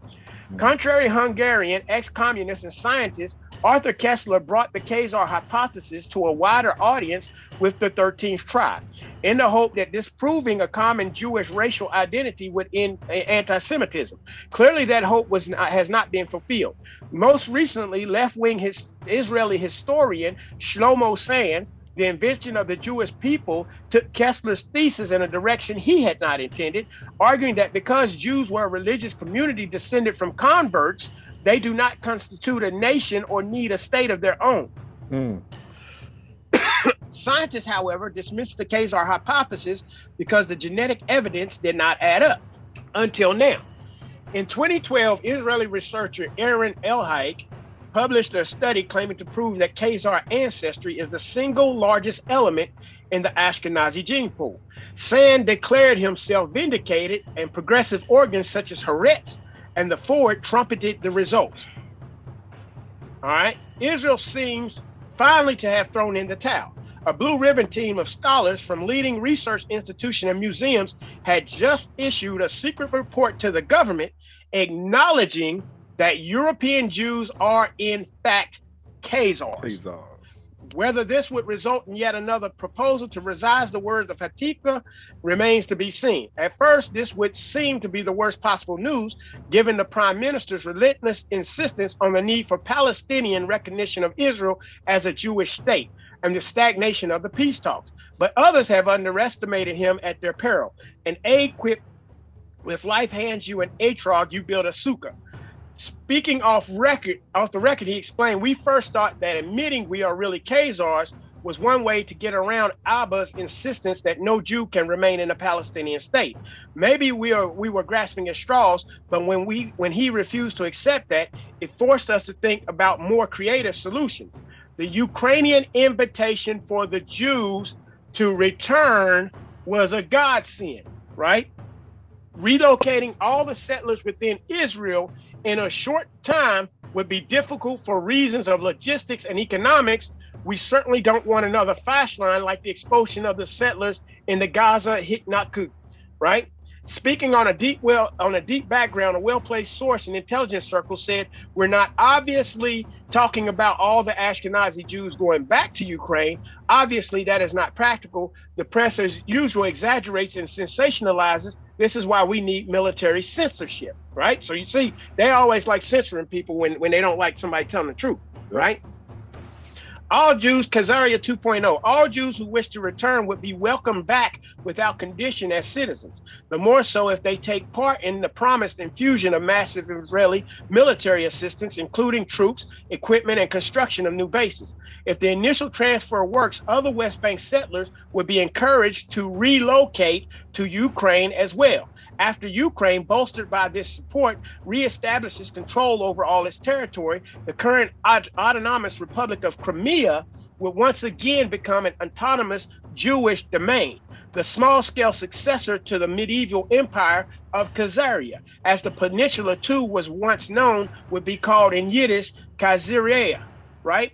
As you know, the spokesman continued, the prime minister has said time and again, we are a proud and ancient people whose histories here go back 4,000 years. The same is true of the Khazars, just back in Europe and not quite as long. But look at the map. The Khazars did not have to live within Auschwitz borders, right? So you see down here, you know what I mean? They, they're showing all of the, the maps and everything. All right, so for we see from that article, they were talking about trying to go back to the Ukraine. Mm-hmm. But that's when when Putin annexed Crimea and made it part of Russia. So he blocked them from being able to do that. That's why you had all of that stuff that was going on in 2015 and 2016, right? Mm-hmm. But they were they were ready to kind of admit that they were Khazarians if they could get their butts out of out of the Holy Land, right? Right. Because right. you know what I mean. You're not going to be able to have no peace, and this is what they don't. No. You're not going to be able to have no peace. But you see, but Russia also knows. Remember, Russians, the Rus was the one who destroyed the Khazarian Empire way back in the day. It right. was the Russians that did it, right? right? And that's why they had always waged war on the Russians. But anyway, let's just talk. Let's go to uh, Arthur Kessler's book, and we're just going to read an excerpt from his book too. So let's go to that 13th tribe by Arthur Kessler. Amen. All right, so this is the book Arthur Kessler, the 13th tribe, for anybody who's interested. Okay, so now let's go and see. The, I'm gonna show you the back cover of it. All right. Okay, so this book traces the history of the ancient Khazar Empire, a major but almost forgotten power in Eastern Europe, which in the Dark Ages became converted to Judaism. Khazaria was finally wiped out by the forces of Genghis Khan, but evidence indicates that the Khazars themselves migrated to Poland and formed the cradle of Western Jewry. To the general reader, the Khazars, who flourished from the 7th to the 11th century, might, seeming, might seem infinitely remote today. Yet they have a close and unexpected bearing on our world, which emerges as Mr. Kessler recounts the fascinating history of the ancient Khazar Empire, a major but almost forgotten power in Eastern Europe at about the time that Charlemagne was emperor in the West. The Khazars' sway extended from the Black Sea to the Caspian, from the Caucasus to the Volga, and they were instrumental in stopping the Muslim onslaught against Byzantium, the eastern jaw of the gigantic pincer movement that in the west swept across northern Africa and into Spain. So when the Romans, I mean, when the Muslims start coming up, getting ready to go up into Europe, you see the Khazar Empire was there, and that's the reason why they didn't want to be Christians and they didn't want to be uh, Muslims. So the Khazars converted to being Judy, to, to being the Jews, right? So let's go. Let me read. If y'all can see where I where it says, thereafter the Khazars found themselves in a precarious position between the two major world powers, the Eastern Roman Empire in Byzantium, and the triumphant followers of Muhammad. Okay, so there you see Byzantium was the Catholics or the Romans, I mean the Christians, and mm-hmm. the triumphant followers of Muhammad was Islam. As Mr. Kessler points out, the Khazars were the third world of, the, of their day, and they chose a surprising method of resisting both the Western pressure to become Christian and the Eastern to adopt Islam. Rejecting both, they converted to Judaism. In the second part of this book, The Heritage, Mr. Kessler speculates about the ultimate faith of the Khazars and their impact on the racial composition and social heritage of modern Jewry. He produces a large body of meticulously detailed research in support of a theory that sounds all the more convincing for the restraint with which it is advanced. Yet, should this theory be confirmed, the term anti Semitism would become void of meaning. As Mr. Kessler writes, it is based on a misapprehension shared by both the killers and their victims. The story of the Khazar Empire, as it slowly emerges from the past, begins to look like the most cruel hoax which history has ever perpetrated. Mm. Right? And we go into the 13th tribe, and then he talks about it on page 72, right? So on page 72, the part that I got highlighted right here, he talks about how the leader of the Khazars and what happened. Joseph, Joseph then, this is a guy who's supposed to be a Jew from in Spain. Joseph then proceeds to provide a genealogy of his people. No, this is Joseph, the one of the king of the Khazars. Through a fierce Jewish nationalist proud of wielding the scepter of Judah, he cannot and does not claim for them Semitic descent, right? So he claims we're not from the Semites, right? We're not descendants mm-hmm. of Shem. He traces their ancestry not to Shem, but to Noah's third son, Japheth, of more precisely to Japheth's grandson, Togarmah. So remember, Togarmah and Ashkenaz were brothers, right? Mm-hmm. Mm-hmm. So he says that you know what I mean. The, that our descent, our uh, these Khazars, that we come from Togarmah, the ancestor of all Turkish tribes. We have found in the family registers of our fathers. Joseph asserts boldly that Togarmah had ten sons, and the name of their offsprings are as follows: Wugar, Dursa, Avars, Huns, Basili, Tarnik, Khazars, Zagora, Bogar, uh, uh, Sabir. We are the sons of Khazar the seventh. All right. So then when we go to page 16 of Arthur Kessler's book, we see where I got it highlighted of the migration of Khazar tribes and communities into those regions of Eastern Europe, mainly Russia and Poland, where at the dawn of the modern age, the greatest concentration of Jews were found. This has led several historians to conjecture that a substantial part and perhaps the majority of Eastern Jews, and hence a world Jewry, might be of Khazar and not of Semitic origin, right? Then we go down to here, this is what he says, right? How important in quantitative, in quantitative terms is that presence of the Caucasian sons of Japheth in the tents of Shem? Now remember, Noah's what's name? prophecy that he told yep. that Japheth would dwell in the tents of Shem, Shem. right? Yep. One of the most radical propounders of a hypothesis concerning the Khazar origins of Jewry is the professor of medieval Jewish history at Tel Aviv University, A.N. Poliak. His book, Khazaria in Hebrew, was published in 1944 in Tel Aviv and a second edition in 1951. In his in- introduction, he writes that the facts demand a new approach both to the problem of the relations between the Khazar Jewry and other Jewish communities, and to the question of how far we can go in regarding this Khazar Jewry as the nucleus of the large Jewish settlement in Eastern Europe, the descendants of this settlement, those who stayed where they were, those who immigrated to the United States and to the other countries, and those who went to Israel constitute now the large majority of world Jewry, right? So he says that these people the Khazars, these are who most of the Jews that's in America and everybody is. This was written before the full extent of the Holocaust was known, but that does not alter the fact that the large majority of surviving Jews in the world is of Eastern European and thus perhaps mainly of Khazar origin. If so, this would mean that their ancestors came not from the Jordan, but from the Volga, not from Canaan, but from the Caucasus once believed to be the cradle of the Aryan race. and that genetically they are more closely related to the Hun, Uigur, and Magyar tribes than to the seed of Abraham, Isaac, and Jacob. Should this turn out to be the, the case, then the term anti Semitism would become void of meaning based on a misapprehension shared by both the killers and their victims. The story of the Khazar Empire, as it slowly emerges from the past, begins to look like the most cruel hoax which history has ever perpet- perpetrated.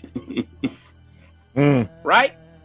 So now, the other book that he showed in his little video was Shlomo Sands, The Invention of the Jewish People. Go Right? Slow mo. Go slow Oh, mo. Shlomo. Slow on. Yeah, Shlomo. All right, so Shlomo now let's see what Shlomo mm-hmm. had in his book, right? All right, so in Shlomo's book on page 236, what caused this silent lapse in the Jewish Israeli men- in memory? Aside from the traditional ethnocentric conception that in some form dominates every aspect of Jewish nationalism, there are two possible hypotheses. One is that the wave of decolonization of the 1950s and 1960s drove the Israeli memory merchants to avoid the very shadow of the Khazar Pass. So he's basically saying they didn't even want to tell people about the Khazar Pass. Mhm. There was anxiety about the legitimacy of the Zionist project. Why? Because if y'all are Khazars, you're not the true descendants of Israel, right? So he says there was anxiety about the legitimacy of the Zionist product should it become widely known that the settling Jewish masses were not the direct descendants of the children of Israel. Such delegitimization might lead to a broad challenge against the state of Israel's right to exist. Then, when I, down here, where we got it down here, the effect was to put the kibosh on any remembrance of Khazaria, right? And that's just some of the stuff. Mhm. Slow mo dropping science on them. Right. But look, but even by their accounts, it still goes back to the biblical. yeah. Right. Yeah. it still goes back to you know what I mean, being Right. biblical. Right. There's no way Exactly. around it. You know what I mean? The word of God tells you who the true Israelites are. Yeah. Exactly. And he told us that the Gentiles were going to try down Jerusalem, right? And don't we see He that? He said that. Yep. Mhm. And so if they are Japheth, descendants of Japheth, and they are the Gentiles, them being down there is fulfillment. Let's go to that prophecy what, what we talking about with Noah. Let's go to Genesis chapter 9. Genesis 9, verse 27. God shall enlarge Japheth, and he shall dwell in the tents of Shem, and Canaan shall be his servant. All right. All right. So we see that that would make perfect sense.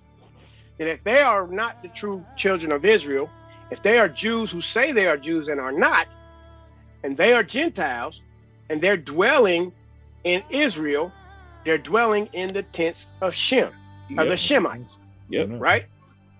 So it's all in the Bible, right? All right then. Okay.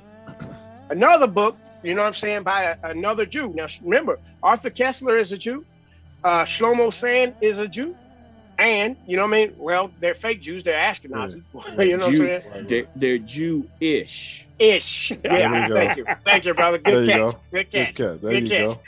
All right. So now let's go to let's go to Yeah. Benjamin Freedman's book, Facts Are Facts. All right. So this is the book Facts Are Facts by Benjamin Freedman, and then after this, we're gonna play a little clip and let you hear Benjamin tell the story for for yourself. But in his book, notice this is what he says. All right.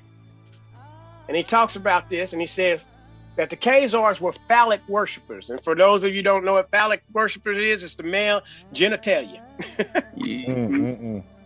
right? They were phallic worshippers, which is filthy, and I do not want to go into the details of that now. But that was their religion. And it was also the religion of many other pagans and barbarians elsewhere in the world. The Khazar king became so disgusted with the degeneracy of his kingdom that he decided to adopt the so called monotheistic faith, either Christianity, Islam, or what is known today as Judaism, which, in re- which is really Talmudism. By spinning a top and calling out eeny, meeny, miny, mo, he picked out so called Judaism and that became the state religion. He sent down to the Talmudic schools of Pumbedita, Pumbedita and Sura and brought up thousands of rabbis and opened up synagogues and school, and his people became what we call Jews, right? Mm. So they start teaching people, you know, many things about the Jews, right? There wasn't one of them who had an ancestor who ever put a toe in the Holy Land. Not only in Old Testament history, but back to the beginning of time. Not one of them. And yet they come to the Christians and ask us to support their armed insurrections in Palestine by saying you want to help repatriate God's chosen people to their promised land, their ancestral homes, don't you? It's your Christian duty. We gave you one of our boys as your Lord and Savior. You now go to church on Sunday and you kneel and you worship a Jew, and we are Jews. So you see why they had to change Christ's skin color and his hair texture. Absolutely. Right? Amen. Amen. It says, but they are pagan Khazars who were converted just the same as the Irish were converted. It is as ridiculous to call them people of the Holy Land as it would be to call the 54 mil- million Chinese Muslims Arabs, right? Mhm. Mm. Right? Then Mm. when we go down here and we look and see what else he says, it says countless intelligent and informed Christians no longer accept unchallenged assertions by the Christian clergy that Jesus in his lifetime was a member of a group in Judea which practiced the religious form of worship then which is today called Judaism, right? Or that Jesus in his lifetime here on earth was a member of the racial group which today includes the preponderant majority of all so-called or self-styled Jews in the world, or that the so-called or self-styled Jews throughout the world today are the lineal descendants of the nation in Judea, of which Jew Jesus was a national in his lifetime here on earth. Or that the cultural characteristics of so called or self styled Jews throughout the world today correspond with the cultural characteristics of Jesus during his lifetime here on earth and his teachings while he was here on earth for a brief stay. Christians will no longer believe that the race, religion, nationality, and culture of Jesus and the race, religion, nationality, and culture of so called or self styled Jews today or their ancestors have a common origin or character. So he's basically saying they don't have the same lineage, right? The intelligent and informed Christians are alerted to the exploded myth that the so called or self styled Jews throughout the world today are the direct descendants of the Judeans amongst whom Jesus lived during his lifetime here on earth, right? They say, he says it's a myth, right? Mhm. That the Jews throughout the world today are the direct descendants of the true Judeans among whom Jesus lived during his lifetime here on earth, right? Okay, so again, we see again where there's something fishy going on with these people because their Right, identity yeah, is rotten, rotten fish. Yeah. absolutely, absolutely, You absolutely, funky. right? hmm So we see that their identity is questioned, and even though they got on YouTube, guys trying to debunk all of this because they don't want this stuff to come out. You know what I mean? Where you got some now, you look at how what, what's going on. You got people saying that the people that was put on slave ship and scattered all over the world, which fulfills Bible prophecy, by the That's way. right. Amen. That's They're the right. real. They're the real Judeans. That's You right. know what I'm A saying? through Z. A through Z Exactly. fulfillment. And you people who say you're Jews and are not, but you're really Gentiles, you see what I'm saying? And you're Mhm. dwelling in the tents of Shem. Guess what? That fulfills Bible prophecy That's too, right. Amen. That's see? right. Amen. That's right. Amen. right? Okay. But now Yeah. let's go listen to Benjamin Freeman, and you know what I mean? And he's going to talk about this big rules to get these people that migrated into Europe down into Palestine, right? And you're going to see how these World War One and World War Two actually kicked off. Amen.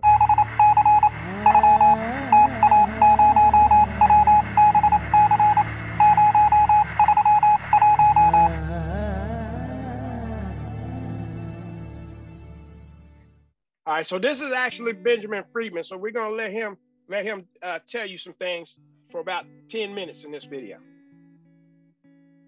The speaker is Mr. Benjamin Freedman, noted authority on Zionism and all of its schemes. Mr. Freedman is a former Jew, and I mean a former Jew.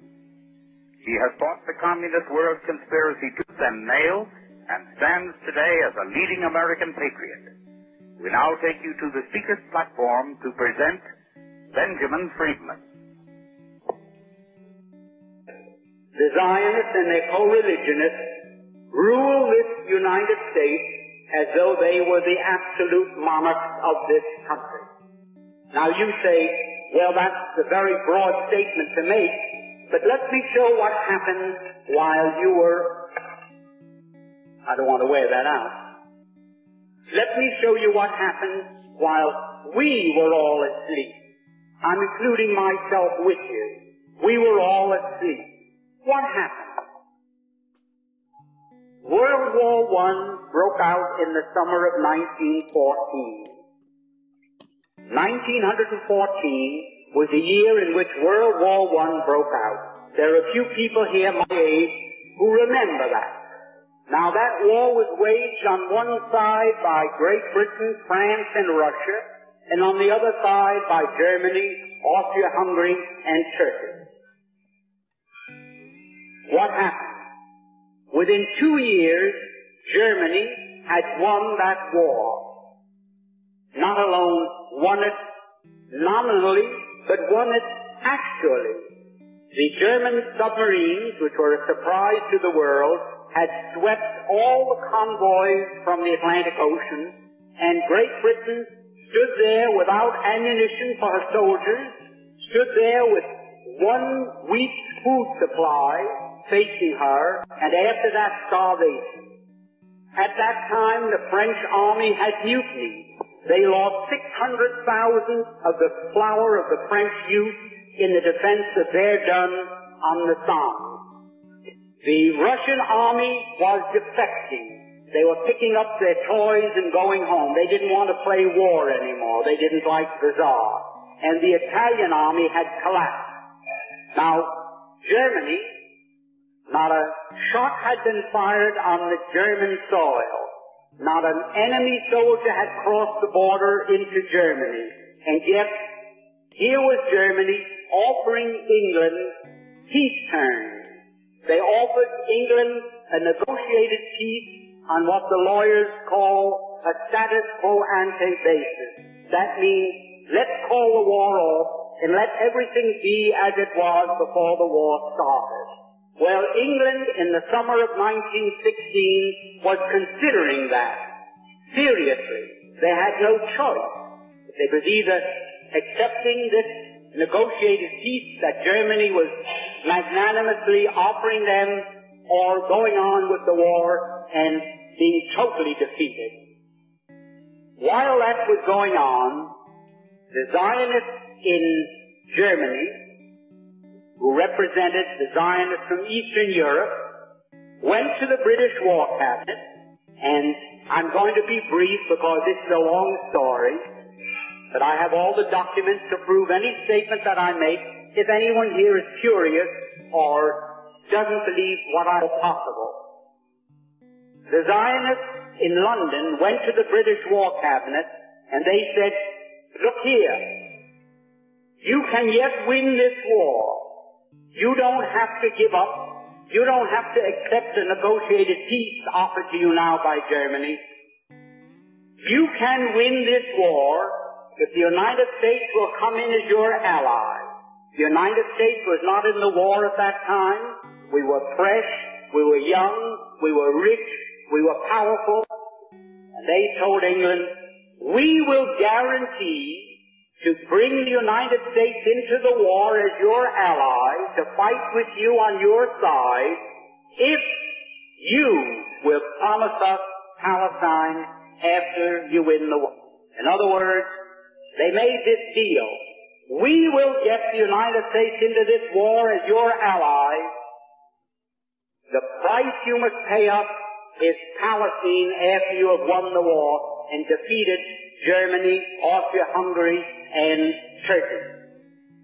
Now England had as much right to promise Palestine to anybody as the United States would have to promise Japan to Ireland for any reason whatsoever. It's absolutely absurd that Great Britain, that never had any connection or any interest or any right in what is known as Palestine, should offer it as coin of the realm to pay the Zionists for bringing the United States into the war. However, they made that promise in October of 1916. October 1916.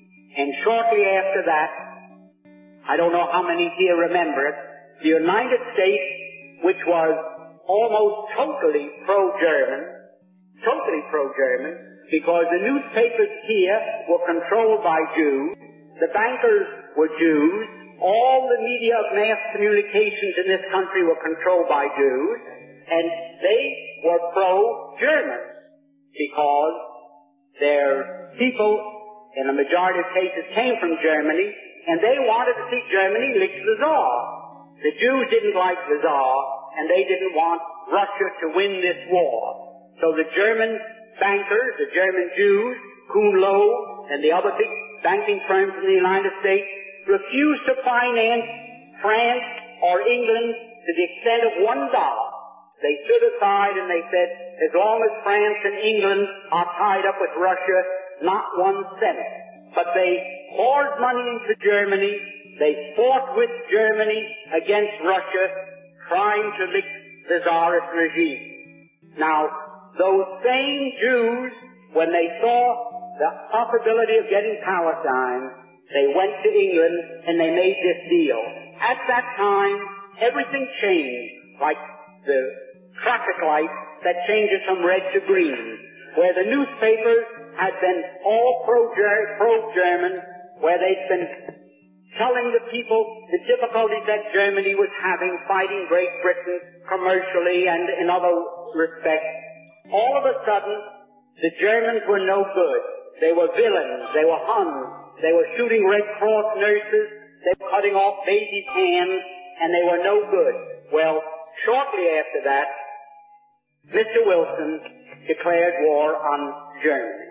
The Zionists in London sent these cables to the United States to Justice Brandeis. Go to work on President Wilson. We're getting from England what we want. Now you go to work and you go to work on President Wilson and get the United States into the war. And that did happen. That's how the United States got into the war. We had no more interest in it. We had no more right to be in it than we have to be on the moon tonight instead of in this room. Now the war, World War One, in which the United States participated, had absolutely no reason to be our war. We went in there, we were railroaded into it. If I can be vulgar, we were suckered into that war merely so that the Zionists of the world could obtain Palestine. Now, that is something that the people in the United States have never been told. They never knew why we went into World War One. Now what happened? After we got into the war, the Zionists went to Great Britain and they said, well, we performed our part of the agreement. Let's have something in writing that shows that you are going to keep your bargain and give up Palestine after you win the war. Because they didn't know whether the war would last another year or another ten years. So they started to work out a receipt. The receipt took the form of a letter, and it was worded in very cryptic language so that the world at large wouldn't know what it was all about. And that was called the Balfour Declaration. The Balfour Declaration was merely Great Britain's promise to pay the Zionists what they had agreed upon as a consideration for getting the United States into the war. All right. So we see, just to summarize it up, mm-hmm. World War One really was about these people, the Zionists, the Jews, who were over there in Germany.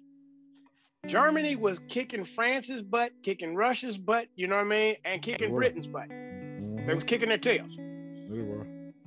These people were in Germany. they, they was living in Germany. And they sold the Germans out, you know what I'm saying? And mm-hmm. went and, ju- and said, listen, Britain, you getting your butt kicked and all this type of stuff, but we can help you win the war. And the way we can help you win the war, we'll get America to come in here. You see what I'm saying? Because the Jews had controlled the media and all the newspapers and everything else, right? Still do. Still, Still do. do. Still that, because that's our next. The next one we're gonna talk about the Jewish controlled media. We're gonna get them. It ain't over. But but you see, and so they completely changed the narrative. That when they wanted Ger- when they wanted Germany to win, you know what I mean? They told the United States, "Oh, Britain and all these people come against Germany and Germany and whatever." So the United States was pro-Germany. But then once they said, "Okay, we'll give you Palestine," which was basically the land that we know is Israel. That's why you got the Israeli-Palestinian conflict to this day, right? Mhm. They made that declaration. They got them to sign sign the paperwork, and we're going to show you the Balfour Declaration now. You know what I'm saying? That they had came in with the Rothschilds, you know, Lord Rothschild and them, Mhm. you know what I mean, which are Jews, Ashkenazis, you know. Mhm. So the bottom line is they sold out Germany and caused Germany, the place where they live, caused Germany to lose World War One. right? Mhm. Now Hitler ain't even on the scene yet, right? But they called Germany to get whooped. You see what I'm saying? They stole it, they stabbed them in the back, you know what I'm saying? Betrayed them, drug America in. They changed up the, the narratives and then had America to come in and, and do all the dirty work mm, so that they could get, get down into Palestine. Right? Synagogue So now of in action. And Exactly. big action. Exactly. Let's go show about the Balfour Declaration. What is the Balfour Declaration and why does it matter? On its 100th anniversary, many in the Arab world blame the declaration for the decades old Israeli Palestinian conflict. In 1917, British Foreign Secretary Arthur Balfour wrote a letter to Lord Walter Rothschild, one of Britain's most prominent Jewish citizens. Balfour called for the establishment And as you can see, that was the letter, right? In his Mhm. of a national home for the Jewish people within the former Ottoman Empire. At the time, the population of Palestine was less than 10% Jewish, and the declaration accelerated Jewish migration from Europe. In 1948, a UN resolution established the State of Israel, despite opposition from Arab neighbors. By then, the Jewish population had grown more than tenfold. The 1948 Arab Israeli War followed. Since then, there have been 10 more wars, resulting in 5 million Palestinian refugees and thousands killed on both sides. Israel has occupied the Palestinian territories of the West Bank and Gaza for over 50 years. Today, the population of Arabs and Jews in Israel and the occupied territories is about equal. The Israeli Palestinian crisis is one of the world's longest running conflicts. 100 years after the Balfour Declaration, the conflict remains in urgent need of resolution. Got no business over there. Yeah. They won't have Yeah. any peace. Yeah. They gonna have no Right. peace. Right, because that, that land uh, belongs to Israel. You see what I'm saying? And and until God is ready to bring the Israelites home, they ain't Ain't never gonna have no peace because you can't trespass in that land. Amen. You see what I'm saying? That's the Holy Land. Exactly. You see? So So- let's go back. Look, it's the Wait. Holy Land set aside for for for uh for uh Mhm. God's people. You know Right. I mean? You know, so And God's- there- yeah, go ahead. And, and God's people can't come back until we accept Christ for who he Mhm. is Amen. and get so that we have an atonement so we can be forgiven. Mhm. And God, that's where we're going to have to get into a video about the regathering, the true regathering of Israel. Because Amen. what this was, was they're faking the regathering to make it look like Bible prophecy was being fulfilled. You Amen. see what I'm word. saying? There's that word, word again. Fake. Right. Exactly. Faking. You see what I'm saying? Mhm. Mhm. Exactly. You know? All right. So let's go and let's go see some more what uh what uh Freedman had to say. The Jews were doing very well in Germany. No question about that. Now, the Germans felt, well, that was quite a sellout. It was a sellout that I can best compare. Suppose the United States was at war today with the Soviet Union. And we were winning. And we told the Soviet Union, well, let's quit. We offer you peace terms. Let's forget the whole thing. And all of a sudden, Red China came into the war as an ally of the Soviet Union. And throwing them into the war brought about our defeat. A crushing defeat with a reparations the likes of which man's imagination cannot encompass. Imagine then if we found out that it was the Chinese in this country, our Chinese citizens, who all the time we thought they were loyal citizens working with us, was selling us out to the Soviet Union, and it was through them that Red China was brought into the war against us. How would we feel in the United States against Chinese? I don't think one of them would dare show its face on any street. There wouldn't be lampposts enough convenient to take care of them. Imagine how we would feel. Well, that's how the Germans felt towards these Jews. We've been so nice to them, and from 1905 on, when the first communist revolution in Russia failed, and the Jews had to scramble out of Russia, they all went to Germany, and Germany gave them refuge, and they were treated very nicely. And here, they sold Germany down the river for no reason at all, other than they wanted Palestine as a so-called Jewish commonwealth. Back into their former status, and the Germans fought them in every way they could without hurting a hair on anyone's head. The same as one group, the uh, prohibitionists, fought the people who were interested in liquor, and they didn't fight one another with pistols. They did it every way they could. Well, that's the way they were fighting the Jews in Germany.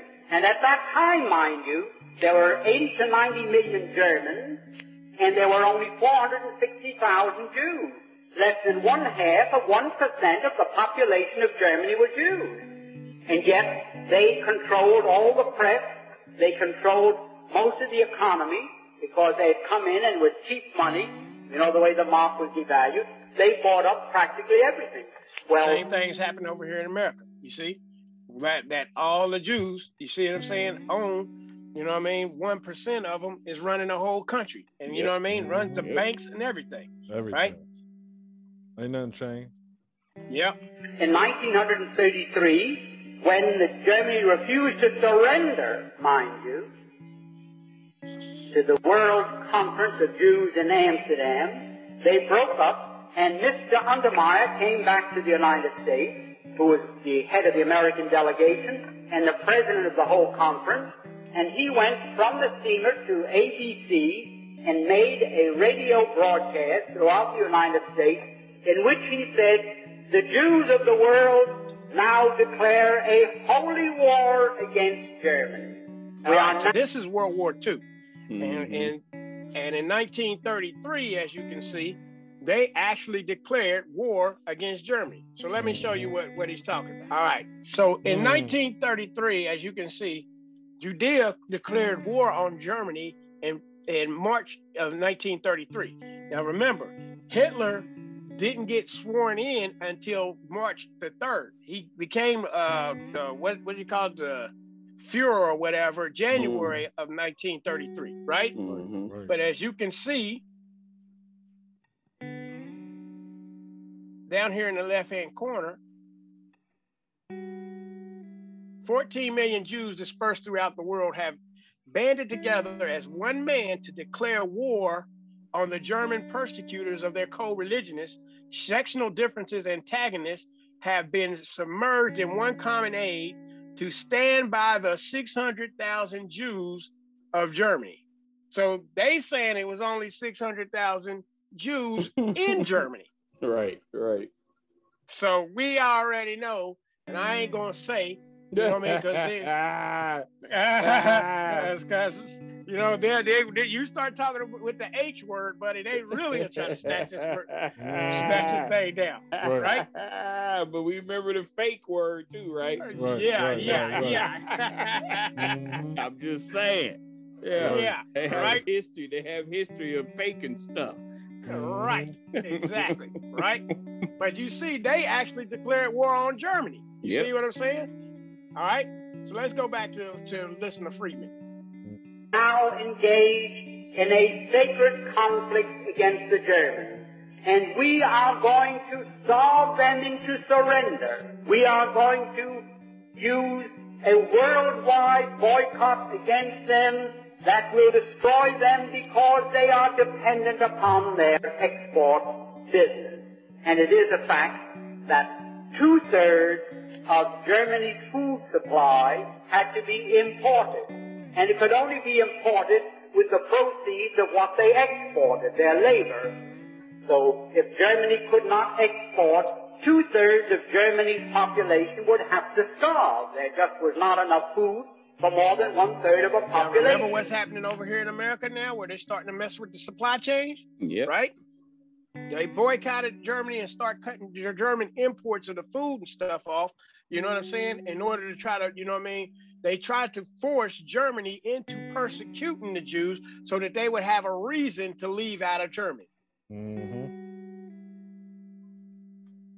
Now, in this declaration, which I have here, it was printed and page, a whole page, in the New York Times on August 7, 1933. Mr. Samuel Untermyer boldly stated that this economic boycott is our means of self-defense. President Roosevelt has advocated its use in the NRA, which some of you may remember, where everybody was to be boycotted unless they followed the rules laid down by the New Deal, which of course was declared unconstitutional by the Supreme Court at that time. Nevertheless, the Jews of the world declared a boycott against Germany, and it was so effective that you couldn't find one thing in any store anywhere in the world with the words made in Germany on it.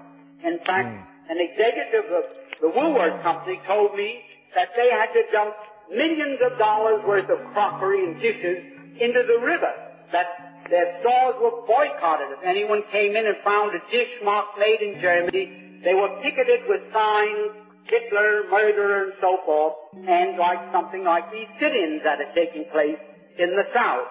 R.H. Macy, which is controlled by a family called Straus, who are, also happen to be Jews, a woman found stockings there, which came from Chemnitz, marked made in Germany. Well, they were cotton stockings. They may have been there 20 years, because uh, since I've been observing women's legs in the last 20 years, I haven't seen a pair with cotton stockings on them. So Macy, I saw Macy boycotted with hundreds of people walking around with signs, murderers, Hitlerites, and so forth. Now up to that time, not one hair of any Jew had been hurt in Germany. There was no suffering, there was no starvation, there was no murder, there was nothing.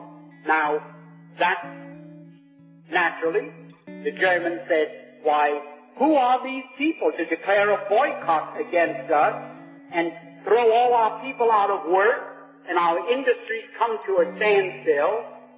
Who are they to do that to us? And they naturally resented it.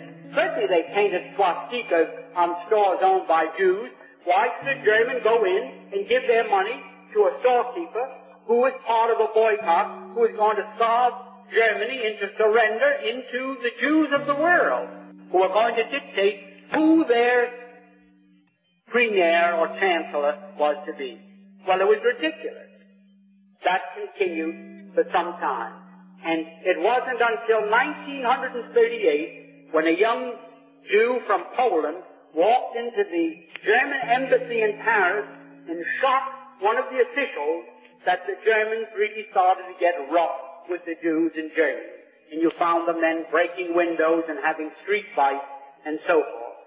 Now, for anyone to say that I don't like to use the word anti-Semitism because it's meaningless, but it means something to you still, so I'll have to use it. The only reason that there was any feeling in Germany against Jews was that they were responsible, number one, for World War One, number two, for this worldwide boycott, and number three, did I say for World War One, they were responsible for the boycott and also for World War Two. Because after this thing got out of hand, it was absolutely necessary for the Jews and Germany to lock horns in a war to see which one was going to survive. In the meanwhile, I had lived in Germany, and I knew that the Germans had decided Europe is going to be Christian or communist. There is no in between. It's going to be Christian or it's going to be communist. And the Germans decided we're going to keep it Christian if possible. And they started to rearm. And their intention was, by that time, the United States had recognized the Soviet Union, which they did in November 1933. The Soviet Union was becoming very powerful, and Germany realized, well, our turn is going to come soon unless we are strong. The same as we in this country are saying today, our turn is going to come soon unless we're strong, and our government is spending 83 or 84 billion dollars of your money for defense, they say. Defense against who? Defense against 40,000 little Jews in Moscow that took over Russia and then, in their devious ways, took over control of many other governments of the world. But all right, so now we see in World War II how they provoked Germany, you know. Germany, you know, Hitler even was willing to let them people go, you know what I'm saying, back back to Palestine, you know what I'm saying, and let them get their money and all that. He had an agreement with them to go. But they tried to starve the Germans and all this type of stuff and provoke Germans and all this. And then when Germany started getting rough with them, you know what I mean? It made everybody say, hey, you know, Hitler is a monster and all this type of stuff, right? But now what they don't like to tell people is what Hitler, you know what I mean, said about the Jews, about them, Ashkenazi, and what he's on record of saying about the Negro. So now let's go and talk about that. Let's hmm. hit it. Let's hit it. All right. All right. So it says Hitler said even in his death he will start World War III. One of his soldiers asked how. Hitler replied, "The day mankind finds out that I was trying to defend this nation, Germany, from then that's the day World War III will start. From that day, mankind will learn that I was trying to save my nation from the Freemasons, the Illuminati, the Jews. For if America wins the war, then they will conquer the world and forever be a slave to the Jews, and they will try to conquer God. Do you know who America has in its possession? No, the soldier replied. The American has the jewels of God. The Americans have stole God's precious jewels. What do you mean, his precious jewels? The soldier asked. Hitler said, America has stolen the Jews, the Jews of God, his jewelry, the Negroes. They are the true Hebrews. What a foolish move and a direct challenge to God, and they plan on moving these false white Jews into a state of Israel. America is desperate in its attempt to win this war using atom bombs on Japan. America will destroy the whole world in its attempt to conquer it. When America and its Jewish slave masters conquer the world and the world realize I was right, then all nations will begin a third world war to dethrone America of its rule. Every nation will soon possess atom bombs of their own. It will be the end of most of the world as we know it.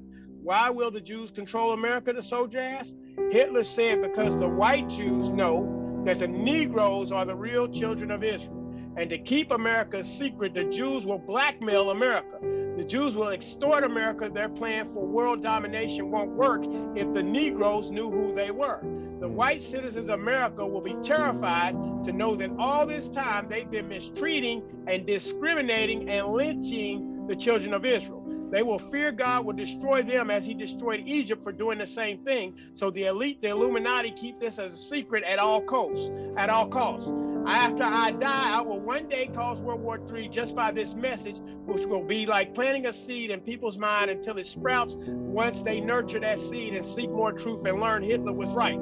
I did the world a favor by killing the false Jews before they designated a false state of Israel. But I fear I have failed. The world will fall into the hands of Satan.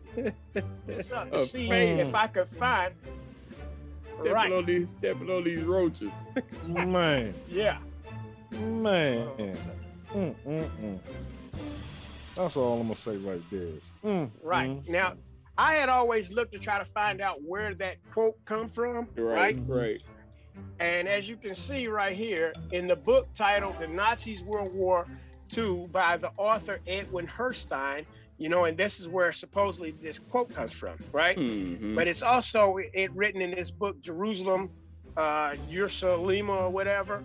I just ordered this book, so you know what I mean. It's supposed to be here. I ordered it off of Amazon, right? okay. and supposedly that that quote is in that book. But you know what I'm saying. But I do.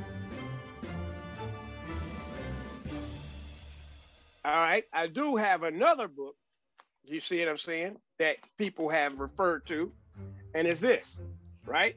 Mm-hmm. The Nazis, right? By Time Life, right? Mm-hmm. Mm-hmm.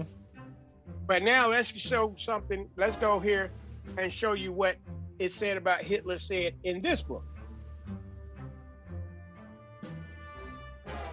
All right. So in this book, as you can see, you see Hitler and them are, are sitting here watching a movie, right? And what it says down here about Goebbels and Hitler personally appraised a new German movie when the Fuhrer complained that films espousing the Nazi line were too scarce.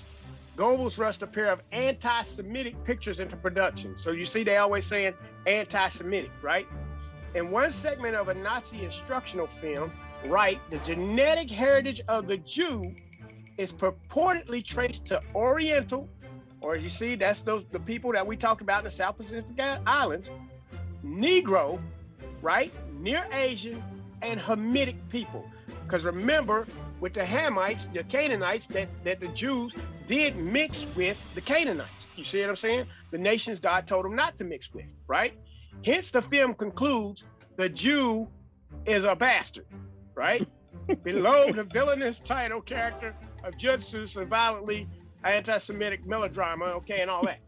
but now, when we see the picture in the book, you see the Oriental guy. Then they got the Niger, you know, the, the, the black, right? and then you see the Hamitic, where he said, you see with the woolly hair, he mm-hmm. said all this. And then they said, now this guy with the big nose, you see what I'm saying? He's a bastard. Jerry Lewis. yeah. Yeah. And he called him a bastard, right? Mm-hmm. man, we can't make right. this stuff up, man. Nah, nah, nah. Hey, he got to take that out. I forgot we was on camera for a half a second. All right, Zechariah chapter 9. I'm going to pick it up in verse 6. Chapter 9, verse 6. And a bastard shall dwell in Ashdod, and I will cut off the pride of the Philistines. All right. All right. So when we see Ashdod, you see where Ashdod is, you know what I mean, across from Jerusalem. So when the Bible, when it tells us that a bastard would dwell in Ashdod, you see where it is, right?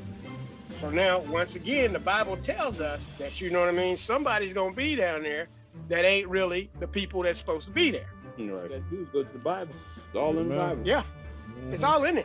Every last bit of it, right?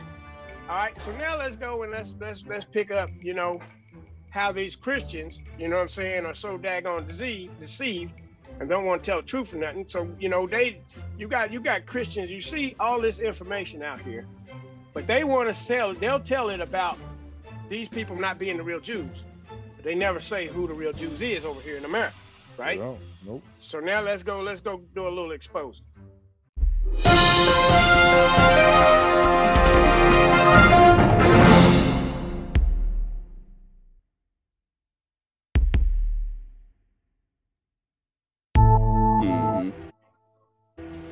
Over 4,000 years ago, God appeared to Abraham in Mesopotamia and said to him, Get thee out of thy country, and from thy kindred, and from thy father's house, unto a land that I will show thee, and I will make of thee a great nation. Abraham obeyed the Lord, and came into the promised land of Canaan, where he lived along with his son Isaac and his grandson Jacob, who was later renamed Israel. Israel and his twelve sons went down into Egypt because of a famine in the land of Canaan. And there they multiplied into a mighty nation. The Egyptians felt threatened by the powerful nation of Israel living among them. So they enslaved them and made their lives. See how the depiction? See, mm-hmm. see how they mm-hmm. changed the depiction? You see what mm-hmm. they doing? Mm-hmm. Bitter Big time. with hard bondage. Yeah. After 430 years in Egypt, they were led out of bondage by Moses, then crossed the Red Sea and went into Arabia, where they received the law of God at Mount Sinai. The generation of Israelites that left Egypt with Moses were not allowed to enter the promised land because of their lack of faith in the Lord. They were forced to wander in the wilderness for 40 years until a new generation rose up that trusted the Lord and entered the promised land with Joshua. For about 400 years, the 12 tribes of Israel were ruled by the judges according to the law of Moses. When they desired to have a king like all the other nations, God appointed Saul to be their king, who reigned over them for 40 years, followed by King David, who reigned 40 years, and David's son Solomon, who reigned 40 years. During the reign of Solomon, the kingdom of Israel was at its most glorious, and the first temple was built. But because Solomon's heart turned away from the Lord in his old age, God told him that ten of the tribes would not be ruled by his son. After the death of Solomon, the kingdom of Israel was divided, and the northern ten tribes were ruled over by a series of wicked kings who were not descended from David and Solomon. The northern kingdom retained the name of Israel and eventually had Samaria as its capital city. The smaller southern kingdom became known as Judah, had Jerusalem as its capital, and was reigned over by the descendants of David. Starting in 2 Kings 16, the people of the southern kingdom became known as Jews after the name of the kingdom of Judah. Because of the wickedness of the northern kingdom of Israel, they were overthrown and taken captive by the Assyrians. The Israelites who remained became intermingled with the heathen nations who came in and occupied the land. These people would become known as the Samaritans, and the ten tribes of northern Israel would never be a nation again. The southern kingdom of Judah would eventually be taken captive into Babylon as a punishment for serving other gods, and the temple would be destroyed. But after 70 years, the Jews returned to Judah, rebuilt the temple at Jerusalem, and continued to be ruled by kings descended from David.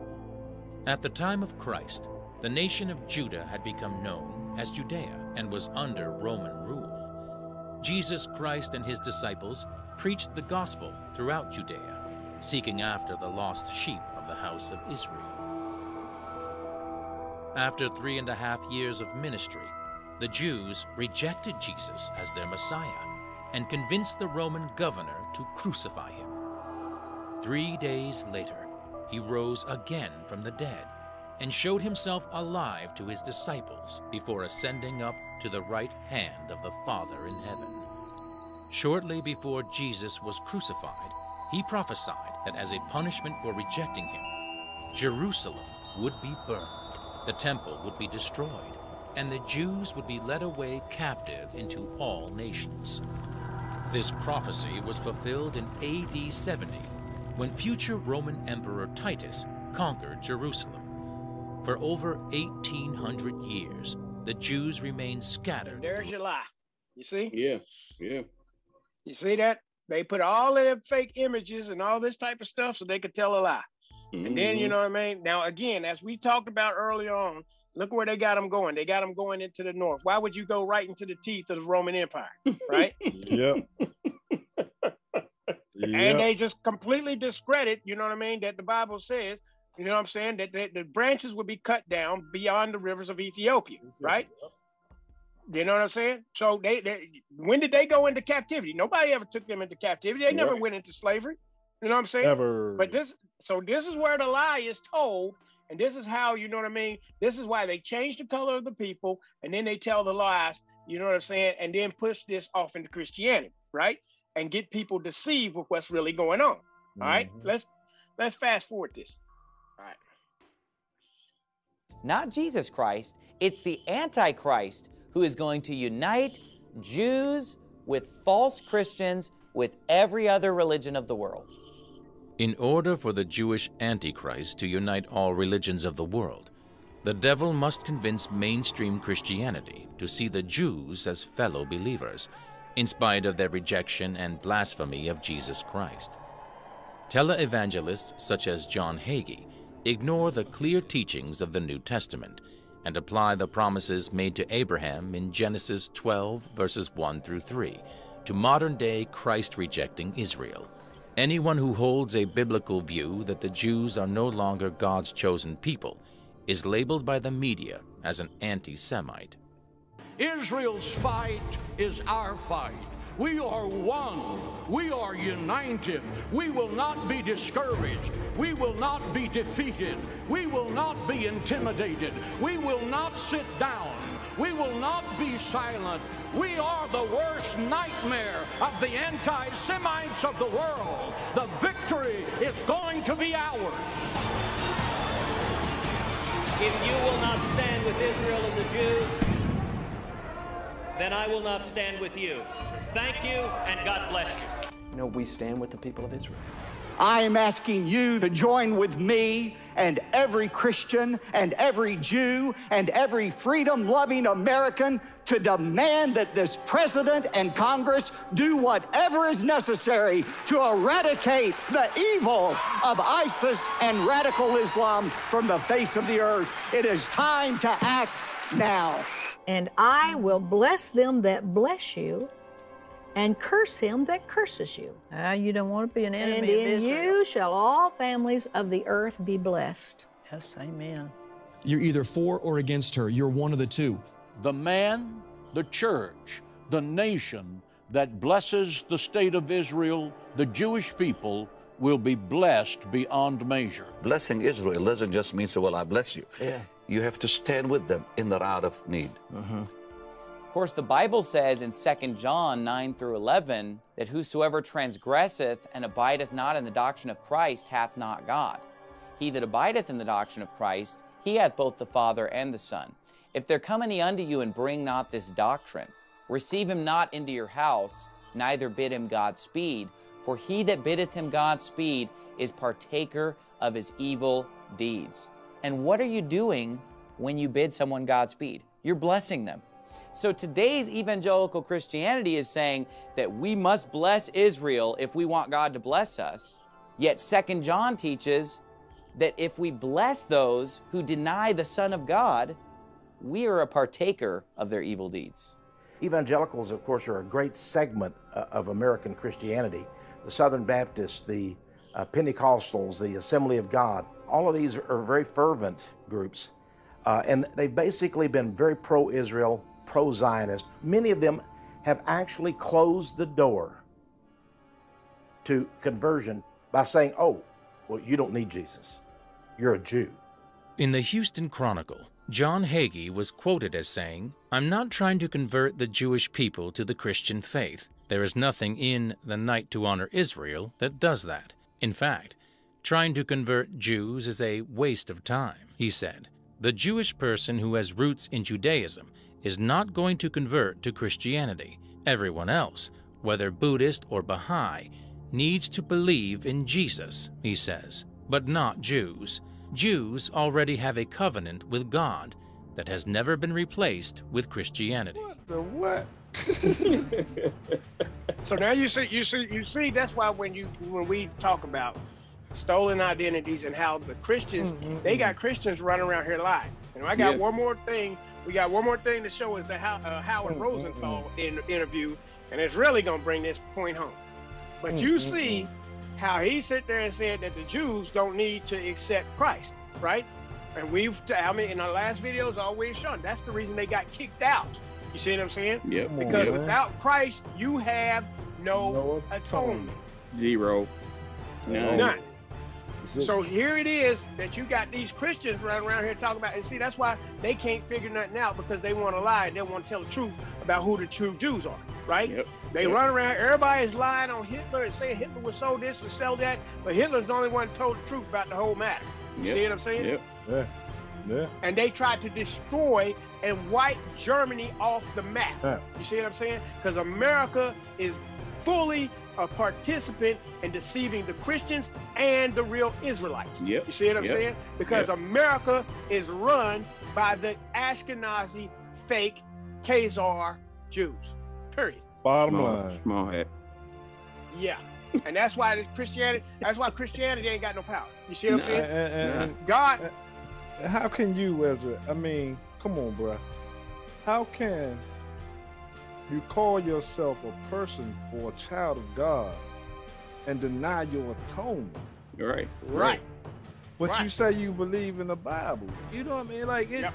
this stuff. I mean, we can't make this stuff up, y'all. We No. cannot No. make this stuff up, No. man. Now, now, God, you know what I'm dog, man. Are Yeah. you serious? and you got all these people call themselves Christian ministers, and they run around here. But that's why they getting ready to get in trouble, and that's why now you see God is waking the Israelites up. Yep. You Big know what I'm saying? Now you got the Israelites standing on the corner talking about they ain't the Jews, we are. You see what I'm saying? Yep. And just Yep. like Hitler said, now you know what I'm saying. All of America is starting to say, well, wait a minute. They were put on slave ships. They were sold. They were, you know, hung off trees. They were, you know, have had they, you know, they are the tails and not the head. You see what I'm saying? Mhm. They are having all this stuff happen to them where these people are running everything. They got control of the media and all this type of Come stuff. on. And see? they are rich. And if you have and control, they are rich. rich. Come on. And look, and if you control the media, why isn't Christ centered information being pushed? Thank you. Because Thank if you control everything, you got the money, then we should the world shouldn't be the way it is today. That's right. Exactly. That's right. But Exactly. we know, Saying? but we know who they really are. That's why. Mm-hmm. The, Exactly. That's why The they push synagogue what they of push. Satan. The Yeah. bottom Exactly. line. Yep. That's Synagogue exactly who of they are. Satan. You Yep. small hat for the Absolutely. synagogue ah, yeah, of say it Satan. again, bro. Say it again, bro. synagogue of Satan. I said it. Because Small the Bible hat. says it, man. The Bible has made it true, man. And like I said, Yep. and, and I, I've come to this conclusion. If you don't believe the Bible, the Spirit, of, we know this, the Spirit of God ain't in you. I don't care what ain't. church That's you right. go It to. I don't care right. what church you go to. You shucking and jiving, sitting up in there. If your pastor's not teaching this, then how Yep. can you understand your history? How can you really? Uh, I mean, Yep. I've been Yep. saved for years. You know what I'm saying? I've never heard a pastor teach this. No, Never. no, no. Yeah. Never. Yeah. Yep. And Nope. that's the problem. And that's why don't nobody know nothing, both Christian. Because remember, the, and this and this is where we're gonna separate this thing with you know the Hebrew Israelites. And if y'all watching, so we can tell y'all, you can't take salvation away from the Gentiles either. You That's see what right. I'm saying? You don't have because they're grafted in. They're Amen. grafted in. If they got the spirit of God in them, then that's why they know that the real Israelites are, you know what I mean, the African Americans in the South Pacific Islands and Yep. all those Yep. who were scattered. They Yep. understand it too. But you know what? You got some people that's being mis- told lies, you know what I'm saying, and misinformed, just like we were. You see what I'm saying? Yep. Big time. You know, so you, you just got a bunch of liars all over the place, and that's why what did, what did when we read at first and Second Corinthians that you know what I'm saying, Satan has transformed himself into an angel of light and his Right. ministers into ministers of righteousness. Righteousness. Yep. Yep. And, and and why would God bring them back into the land with them still rejecting Christ if Come that's the reason why he They kicked them kicked out? them out Yeah, in the first yeah, place. Come on, yeah. bro. Bring it on home, man. Come Yeah. on. You see Yeah. what I'm saying? All right, so let's Come go on, look at this man. Howard Rosenthal interview because he breaks it down and then they they they whacked him. But let's finish this, and this is how we're gonna finish with it.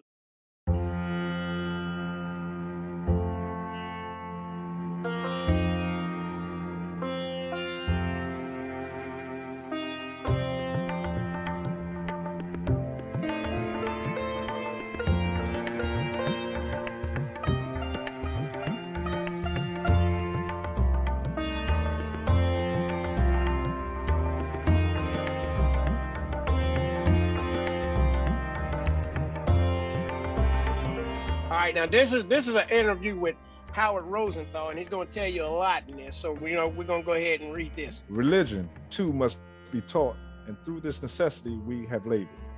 As the Jew Karl Marx stated, religion is the o- opiate of the people. With our control of the textbook industry and, and the news media, wow, we have been Yeah. able to hold ourselves up as the authorities on religion. Many of our rabbis now hold professorships in supposed Christian theolo- theological seminaries. We are amazed by Christian stupidity in receiving our teachings and propagating them as their own. This is one of the main reasons for the power and control Jews have attained over, the, over white nations. The adoption of Jewish ways. Um, as Henry Ford stated, the Christian cannot read his Bible except through Jewish spectacles and therefore reads it wrong. The International Jew Volume, uh, what's that, Volume 4, page 238. As a result, Christians don't have God's word on a certain matter. They have the Jews' word. Uh, Judaism is not only the teaching of the synagogue, but also the doctrine of every Christian church in America. Through our propaganda, the church has become our most avid supporter. This has even given us special place in society. Um, they're believing the lie that we are the chosen people and they Gentiles. These deluded children of the, of the church defend us to the point of destroying their own culture. Jews need not to have their, their finger on every button that caused a destruction or a Judaization of Christian civilization, as in many cases they have their proselytes or Gentile fronts to do it for them. This truth is evident even um, to the dullard when one views history and sees that all wars have been white fighting white in order that in order that we maintain our control. We controlled England during the Revolutionary War, the North during the Civil War, and England and America during World War One and Two. Through our influence of religion, we were able to involve the ignorant white Christians in war against themselves, which always impoverish both sides, while we reap the financial and political harvest. Anytime truth comes forth which exposes us, we simply rally our forces, the ignorant Christians. They attack the crusaders even if they are members of their own families. Anyone ha- who has been in the forefront exposing the truth of Jewish issues can attest to this fact stated by Mr. Rosenthal. Mm, mm, Mm-hmm. See that? Mm, So they know Yeah. that they they pimping and, and, and deceiving the Christians, right? Yeah, yeah, yeah. You got these pimps Alright. in the pulpit. Yep. Yep. They don't know Yep. And what, what, what, what we said again in Corinthians, you know, no marvel that Satan's ministers, you see what I'm saying, becomes ministers of righteousness, right? Mhm. Mhm. All right. Okay, brother Bob. You ready? Mm-hmm. W, according to the latest scholarly research, your ancestors are not Israelites, but Mongolians and Asiatics from Eastern Europe and Western Asia. So your ancestors were thousands of miles from the Holy Land. They never ever saw the Holy Land, proving that your people were not the chosen people of God. So what? What difference does it make? We have been taught the big lie for many years that Jews are God's chosen people, so it does make a difference, a very grave difference. What grave difference? Does it not prove that the great majority of Jews today are Khazar in origin? Your ancestors never trod the lands where Christ walked. They never knew Jerusalem and Palestine, so how could?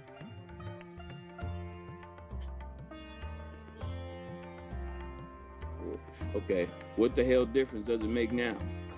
I find so many things that you have said as being repulsive and your arrogant manner in boasting, as it were, to admittedly being a part of this gigantic, this heinous plot against mankind. And at times you attempt to brush things off by saying, What difference does it make? So much of what you have admitted staggers me. In fact, I lack the words. Mr. Mr. R interrupts here. That's because you're a Gentile. You don't understand. You never will until it's too late. And my hope personally is that the American people do not. Mr. R. paused here.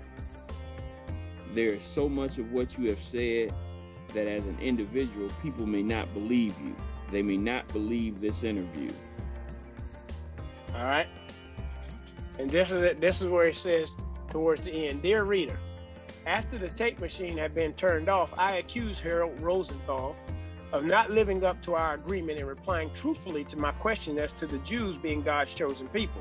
He replied, We are God's chosen people. Most Jews do not like to admit it, but our God is Lucifer. Hmm. So I wasn't lying, and we are his chosen people. Lucifer is very much alive. I was stunned. I had no further comment. I had watched this arrogant, boastful person change at times like a chameleon that changes his color. Many times he showed a hatred, yes, even a venom. At the conclusion, I felt unclean being around him. the, hidden tyr- the hidden tyranny has been revealed. Much of what Harold Wallace Rosenthal said brought to the surface a reality we veterans have known all along. But this Jewish treachery is more shocking when getting it all in one package. It has been alleged that Harold Rosenthal was killed because he talked too much, so it is understandable. If true, it is much as he made such shocking statements of almost seven years ago that we now see as a reality. As an example, we cite the staggering exploitation of the Negro and the black presence everywhere today. We minimize Mr. R's boasting of their control of our, church, of our churches. Unbelievable then, Now, in the fall of 1983, it is a reality that the Supreme Court sanctions IRS approved state churches. Mm. When Rosenthal made such statements about church control, we felt that he was bragging. But in the present day persecution of the church and its ministries here in America by the government is today a fact. So, with that, we'll conclude, right?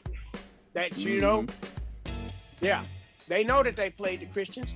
They know who the Negro are. You know what I'm saying?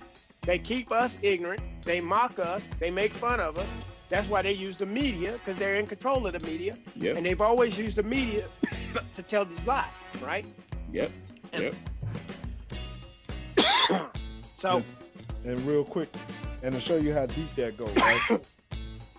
and how and how they use the media to play this whole mind thing, right? So if you want to you want to teach the people how to be inferior, right? You put images. Right? We talked about that, right? So let's take this one image, right? And, and, and, and remember, this is not a black or white thing. I don't want people to get caught up in that. You know what I mean? This is a Christ thing.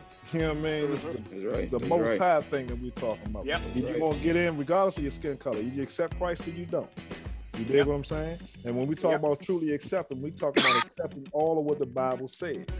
You know what I'm saying? Right. If you Right. want to take one part of it and don't believe, you want to take another part and mix it out. The Bible says don't add, the word. The word of God says don't add nothing to it. Don't take nothing from it. right. We didn't That's add nothing right. to this word, and we didn't preach, take nothing brother. from Preach, brother Leroy. You know Amen. Leroy. All we bringing, all we showing us what the when we and we really we allowing the Holy Spirit to lead us to That's right. share this That's information. Right. You know what I mean? Absolutely. So, Yep. but I want I want to leave leave the, the people with this, okay? Especially uh, Israel, and the true Israel. Right. Okay. Yeah. Right. Yeah. Now, when we think about uh, how the, how the, the small hats control the media, right? Who do they? Who is the number one superhero that everyone knows that you all grew up on, right? Superman. Yep. Yep. Okay, he can't nobody beat Superman, and they, and really when Right. you break down Superman, he's almost like they can okay. He's Mhm. no, but that's a whole nother subject, okay.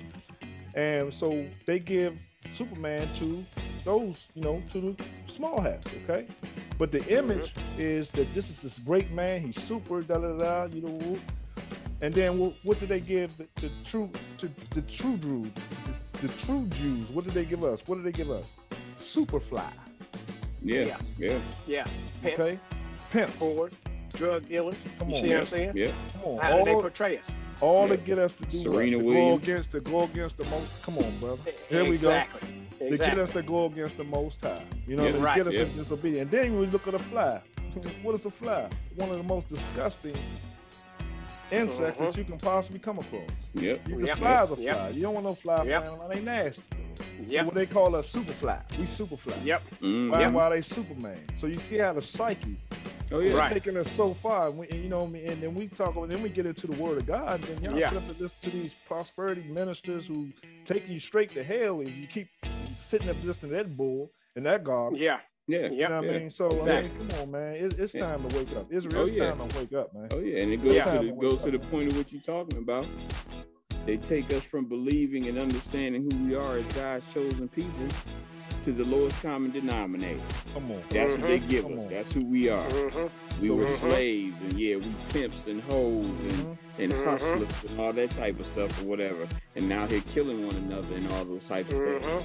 So, so it's, it's been a big game played. It's stolen Right. identity, straight up. Exactly. And we see how, and we see how identity plays a key part. And we, Yeah, you know, exactly. and we can go on for days about how uh, Yep. our communities are so jacked up to this day. Yep. From the Oh, yeah. churches, Yep.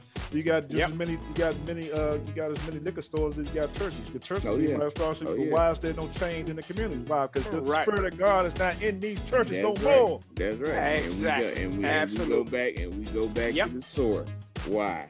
Because our ancestors, and even still to this day, we reject the Messiah Come on. and Exactly. worship all kind of other gods and everything else. Yeah. Try to, Yep. you got some people walking around talking about the Bible ain't true. That's the white man book. And Christianity Yeah, is yeah. the white man. Yeah. I keep on believing that crap.